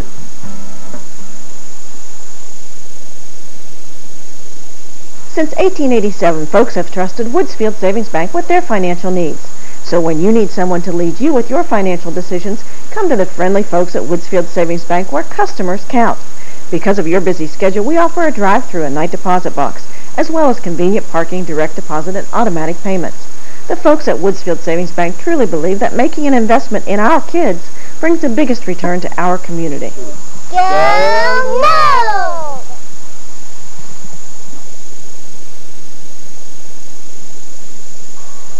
Okay, and here we are. Fourth quarter, 12 minutes left to play. Monroe Central 7, Shenandoah 6. And uh, it all boils down to the final quarter, doesn't it? That's right. We'll go here second and 15 after that procedure penalty and then no gain on second on first down. This will be in the shotgun. He'll let one go. Tell you what, if you fire a strike over there the right side of the field, I believe that's Kenny Robinson. Yeah, Kenny Robinson. Nice catch. Really Nice throw. A big first down to start the fourth quarter off. If he fired that, by the time the, the corner stepped up and it, before the safety got over, there's that seam right there, and Ishii stuck it right in there.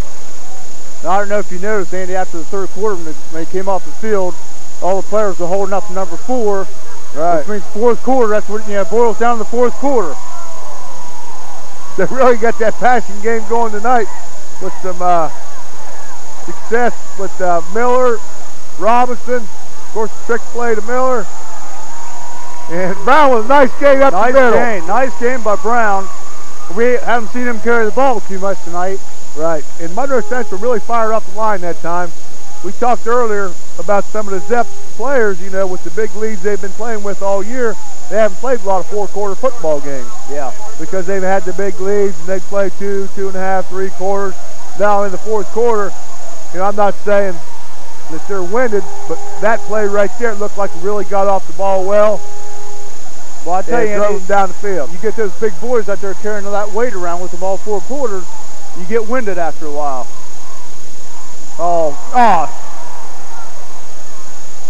I don't know, man. I know there's a exchange. ah.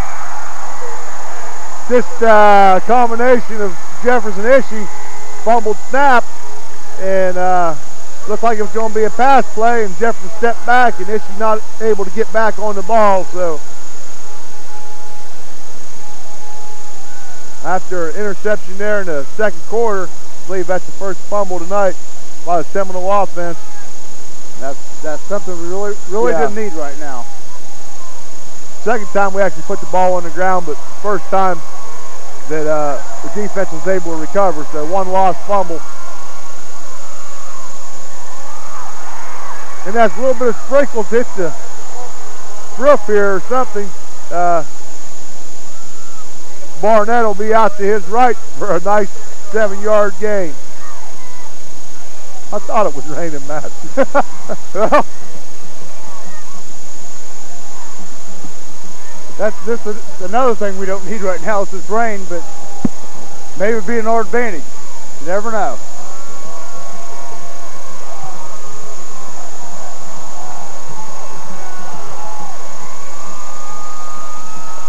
They're second down about three. It'll Barnett be Barnett. Matt, He's met right in the hole. Tell you what, Matt, you had to like that play. Oh, Barnett. sure. Great play. Looked like uh, Barnett. and It's one of the Miller boys going right at it, I believe.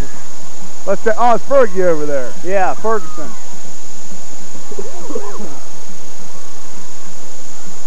So I bring up third and two.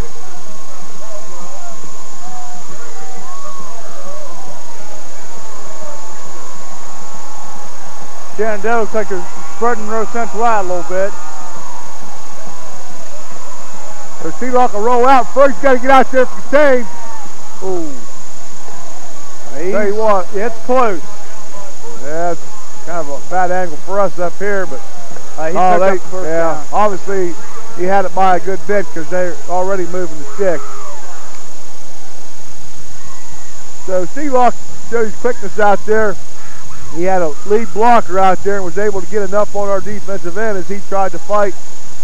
But uh, Sealock only needed about two, two and a half yards and was able to move the stick for another Shenandoah first down. So the first and 10 for the Zeps on their own 34-yard line.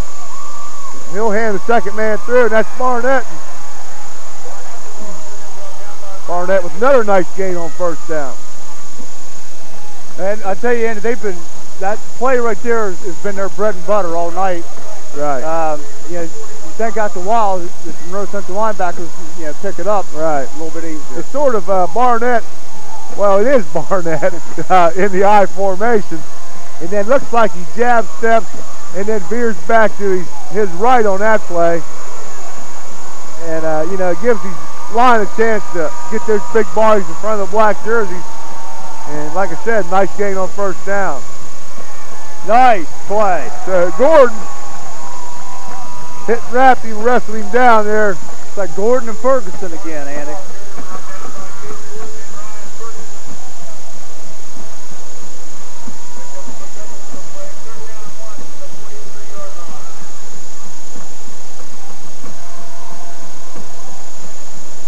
That's the thing about uh, this game, Matt. Been a lot of third downs. Uh, each teams have to work hard for every bit of yardage they've been able to pick up.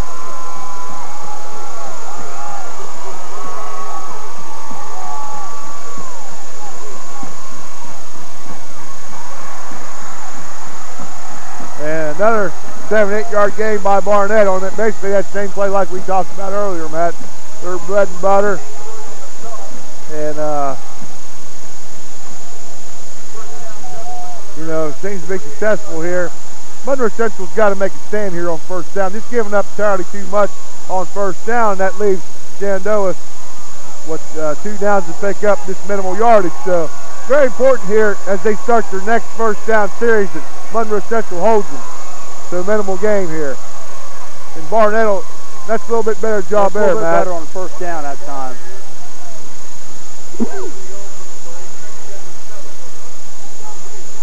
Right. Um, we're going to keep running that until we prove we can stop it.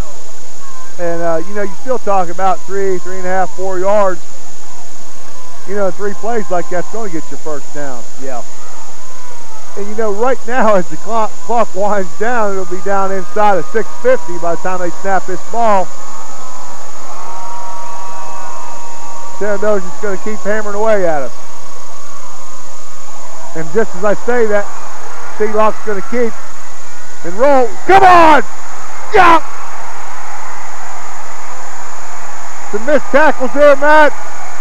Sealock rolled to his right, had three black jerseys around him. Shows some athletic, obviously a lot of athletic ability. And he'll take that ball in for the score. About a 45-yard run by the quarterback, Keith Sealock. Well, I tell you, uh, uh, that was that. You know, like you said, athletic ability. Um, he did a heck of a job breaking a few tackles, and uh, you know, cutting across across what we call across the grain. Right. And uh, you know, scoring a touchdown. And uh, but that was, yeah, like you said, missed tackles. I think it's kind of poor tackling by Monroe Central. Right. I uh, I thought, well, he got that nice yardage there, but we got him there, got him wrapped up. We'll bring him down. He kept on going for the score. So after getting the extra point blocked earlier, Shenandoah go for two.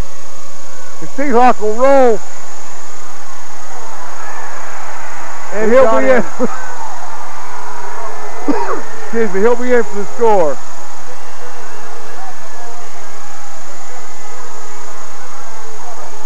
So with 6.32 left to play in the fourth quarter, Shenandoah, after the huge quarterback roll out, 45-yard touchdown, converts on a two-point conversion. That'll put them up by seven. Score right now, Shenandoah 14, Monroe Central 7. And Matt, you know, 6.32 left, two timeouts left. You don't have to get it all back here right after the kickoff. Well, you just got to be patient, and uh, yes, that's one thing about Jay. Um, you know, he'll he he knows um, you know how to be patient and how to how to work the ball down the field, and Right. And you know what? There's a good call in there by Shenandoah. You know, we talked up here, why don't they run Barnett until we stop them? And then they kept hammering away at us. Then all of a sudden we're thinking Barnett again. Sealock keeps. You know, but you but, but you hate to give up big plays when you were there to make a stop. yeah, And that's what seemed to happen there on that play. Is, yeah, we, we was going to give up a few more yards than we wanted to, but downfield there, you know, if we make the tackle, you know, we're still ahead in the game. And we didn't make the play. And, you know, good teams and good players are going to make uh, big things happen. And that's what happened there with uh, Sealock. So number 19, Hedge.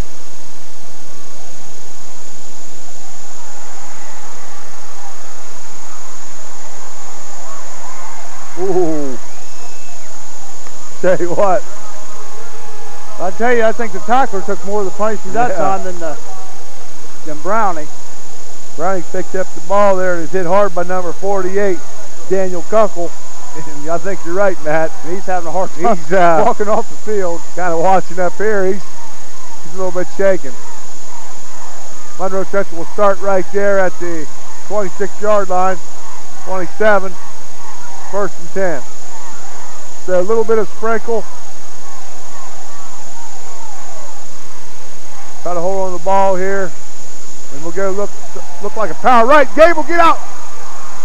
Gabe's still on his feet. Yeah. All right.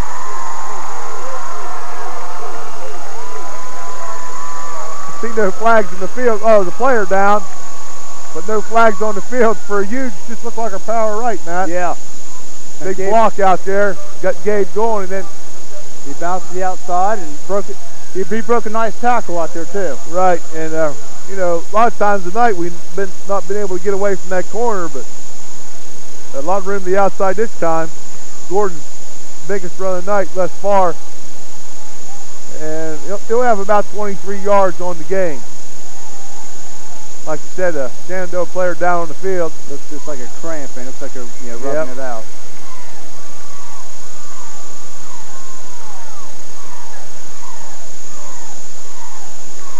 The coach Acosta showed right there that you know he, he was going to be patient because Yeah. you know that's their basic Acosta football, their power right series, and uh, Gabe was a nice gain there. Well, wait a sec, guys. We got a Monroe, Monroe Central's ready to run another play. Still got a Shenandoah man down on the field.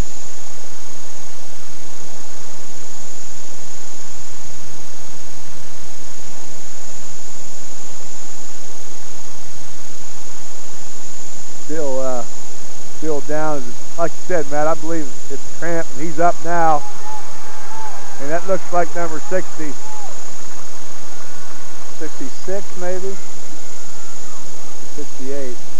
66, Adam Lee. Oh, that's that all Ohio uh, lineman they've been talking about. Done a good job in there tonight with the Zep interior line. Yeah, glad to see he's all right, Matt. And we get back to business here. First down and 10 on our own 49-yard line. A little bit heavier of a sprinkle right now, Matt. Of course, we put the ball down on the ground there, and that actually led to their touchdown. Uh, very important that we handle the snaps, try to keep the ball as dry as we possibly can, and you know just move the ball down the field. Gordon right, right up the gut. Gordon running hard, low on his shoulder, and uh, been, been taking hits from Barnett all night, and uh, he's going to give a little back. Nice hard run by Gabe up the middle. I think right here, Andy, we're going to basically see what, what Monroe Central is made of. Right. They seem pretty calm in the huddle. They, in the huddle. Well, you just got to they got to keep their heads, you know, no uh, no stupid penalties, and just you know just play hard nosed football. Pitch out to Brown. He gets around the end. Puts his shoulder. Yeah. couple- I tell you Oh, I what. tell you what. Tell you what. nice moves on right there, and uh, picks up another big first down. So just a quick toss to our left. Brownie broke a tackle and then could have went out of bounds, but darted back into the field there and picked up an extra 10. And, and The Monroe Central looks like uh, that's Robbie I Dimmerling down the field. again. So if he got his knee twisted again, he seems to be in a lot of pain there initially. He's probably too close to the sideline, so we'll have to hold play. Until we see what kind of injury this is. Well, I think it's because he's past the 25-yard line, Andy. Which Right, is where now the, the coach's box there. Yeah. Right.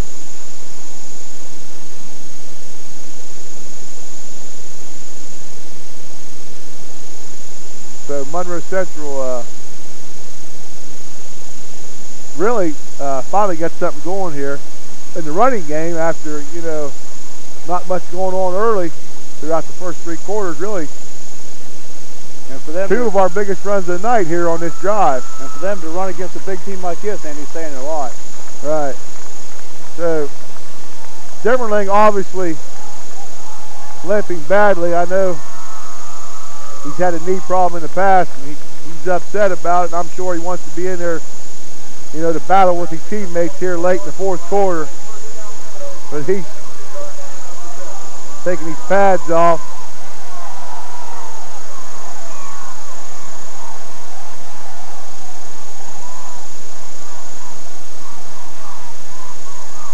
Gordon really hit Susie took the hand off, but they were able to show his athletic ability there and spin away from tackling and get upfield for about two yards. So nice play, and that's when obviously he makes something out of nothing.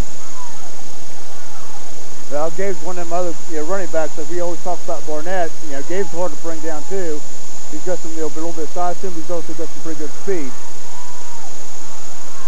And he's not the kind of running back that goes down on the first hit. Right. So Monroe Central working deep down inside, and they'll run a quick toss to Brown. And I tell you what, he brings a couple. Yeah! And I think he might have picked up the first down, and he's awful close. I tell you what, Shenandoah had the white jerseys there. Just the quickness to Brown. He picks them feet, puts them, you know, picks them up, puts them down, and uh, and he does he up worked the upfield for a nice gain. I'll tell you that. So nothing fancy, Matt. Sometimes you think back here in the, on a touchdown we had to trick Shenandoah to get the score. You know, we lined the ball up there at about the 25-yard line, a big power right, a quick toss, and you know over the years that's exactly Jay Acosta football. Quick tosses and power right. That's exactly what got us down the field here.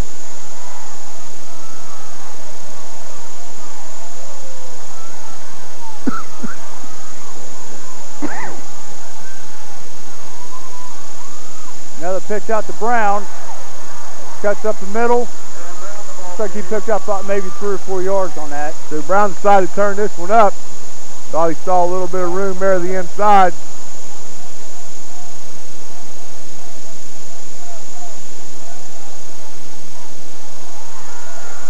Oh, looks like we got a flag.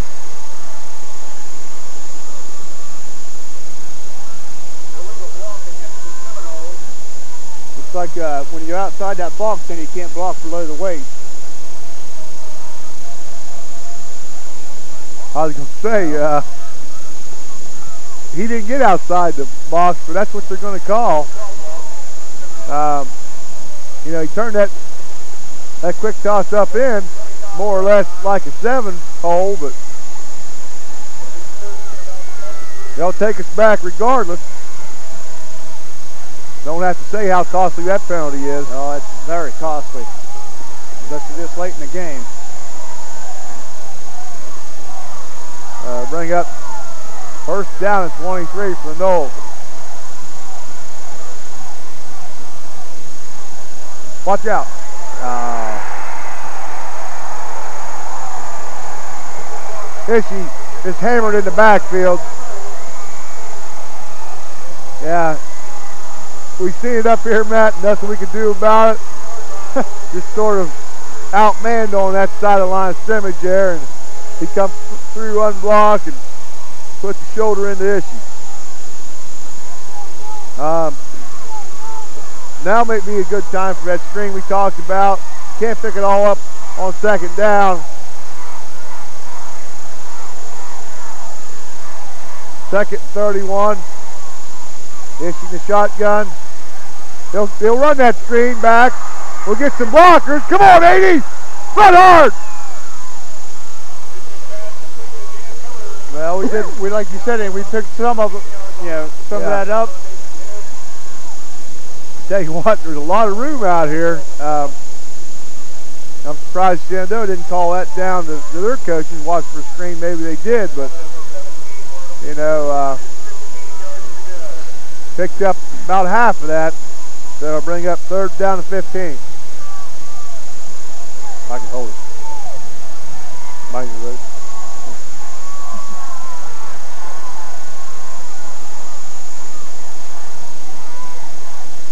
Yes, she's gone. There's a flag on the play. There she goes in motion now, the shotgun.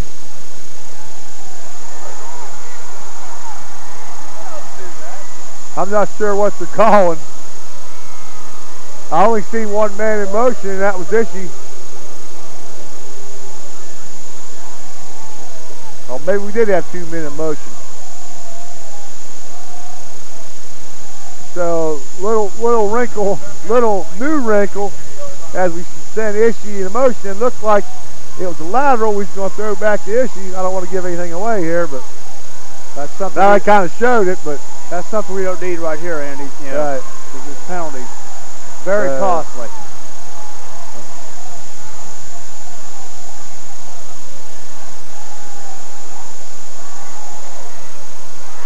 Uh, tell you what, absolutely, I'm sorry. Absolutely great interception in there by Shenandoah as we tried to throw the ball up to Kenny. Never, Kenny really never got a chance to go up and battle for it.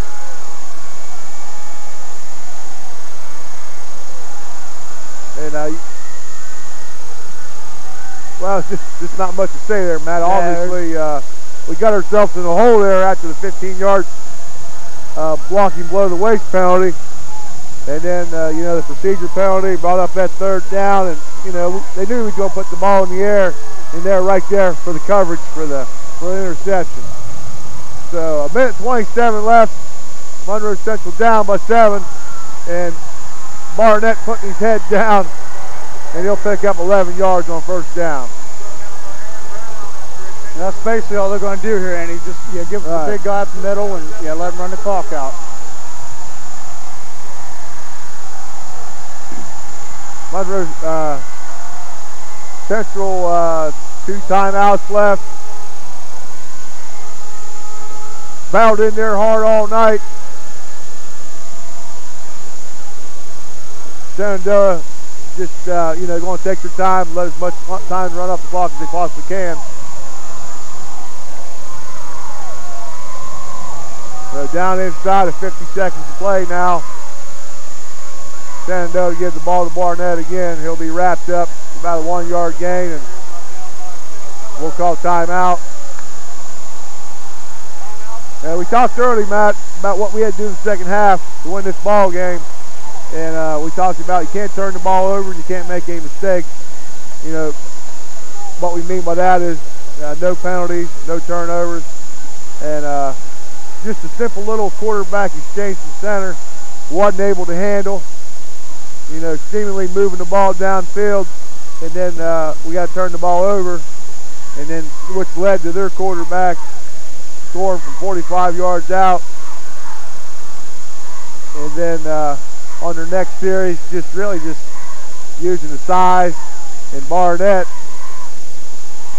Yeah, it's uh, to get that second score. Yeah, that's a, yeah, that's a good team though when it, that, that can capitalize on uh, on turnovers and uh, yeah, like I said, Shenandoah did, and um, you know, uh, not taking anything away from Monroe Central because uh, you know it was a, a hard fought ball game for you know for both sides, and you know Monroe Central coming in being underdogs, um, you know gave Shenandoah you know pretty good run for the money. But you never know. We still got 47 right. seconds left to go. You know, uh, stranger things have happened. Right. Still got one timeout left, so they still got to get their exchange from quarterback to center.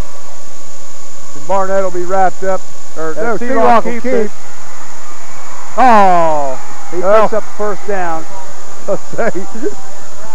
He looks a little bit like Ishii as he scrambled around that left end and was bumped out of bounds.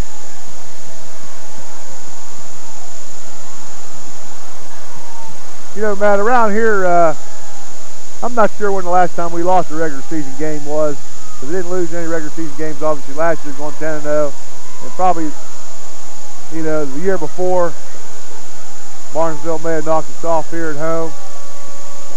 And then, of course, we won the first uh, first six games this year. So right now it looks like uh, Shenandoah's going to put an end to our, uh, you know, maybe 18, 19 game regular season winning streak.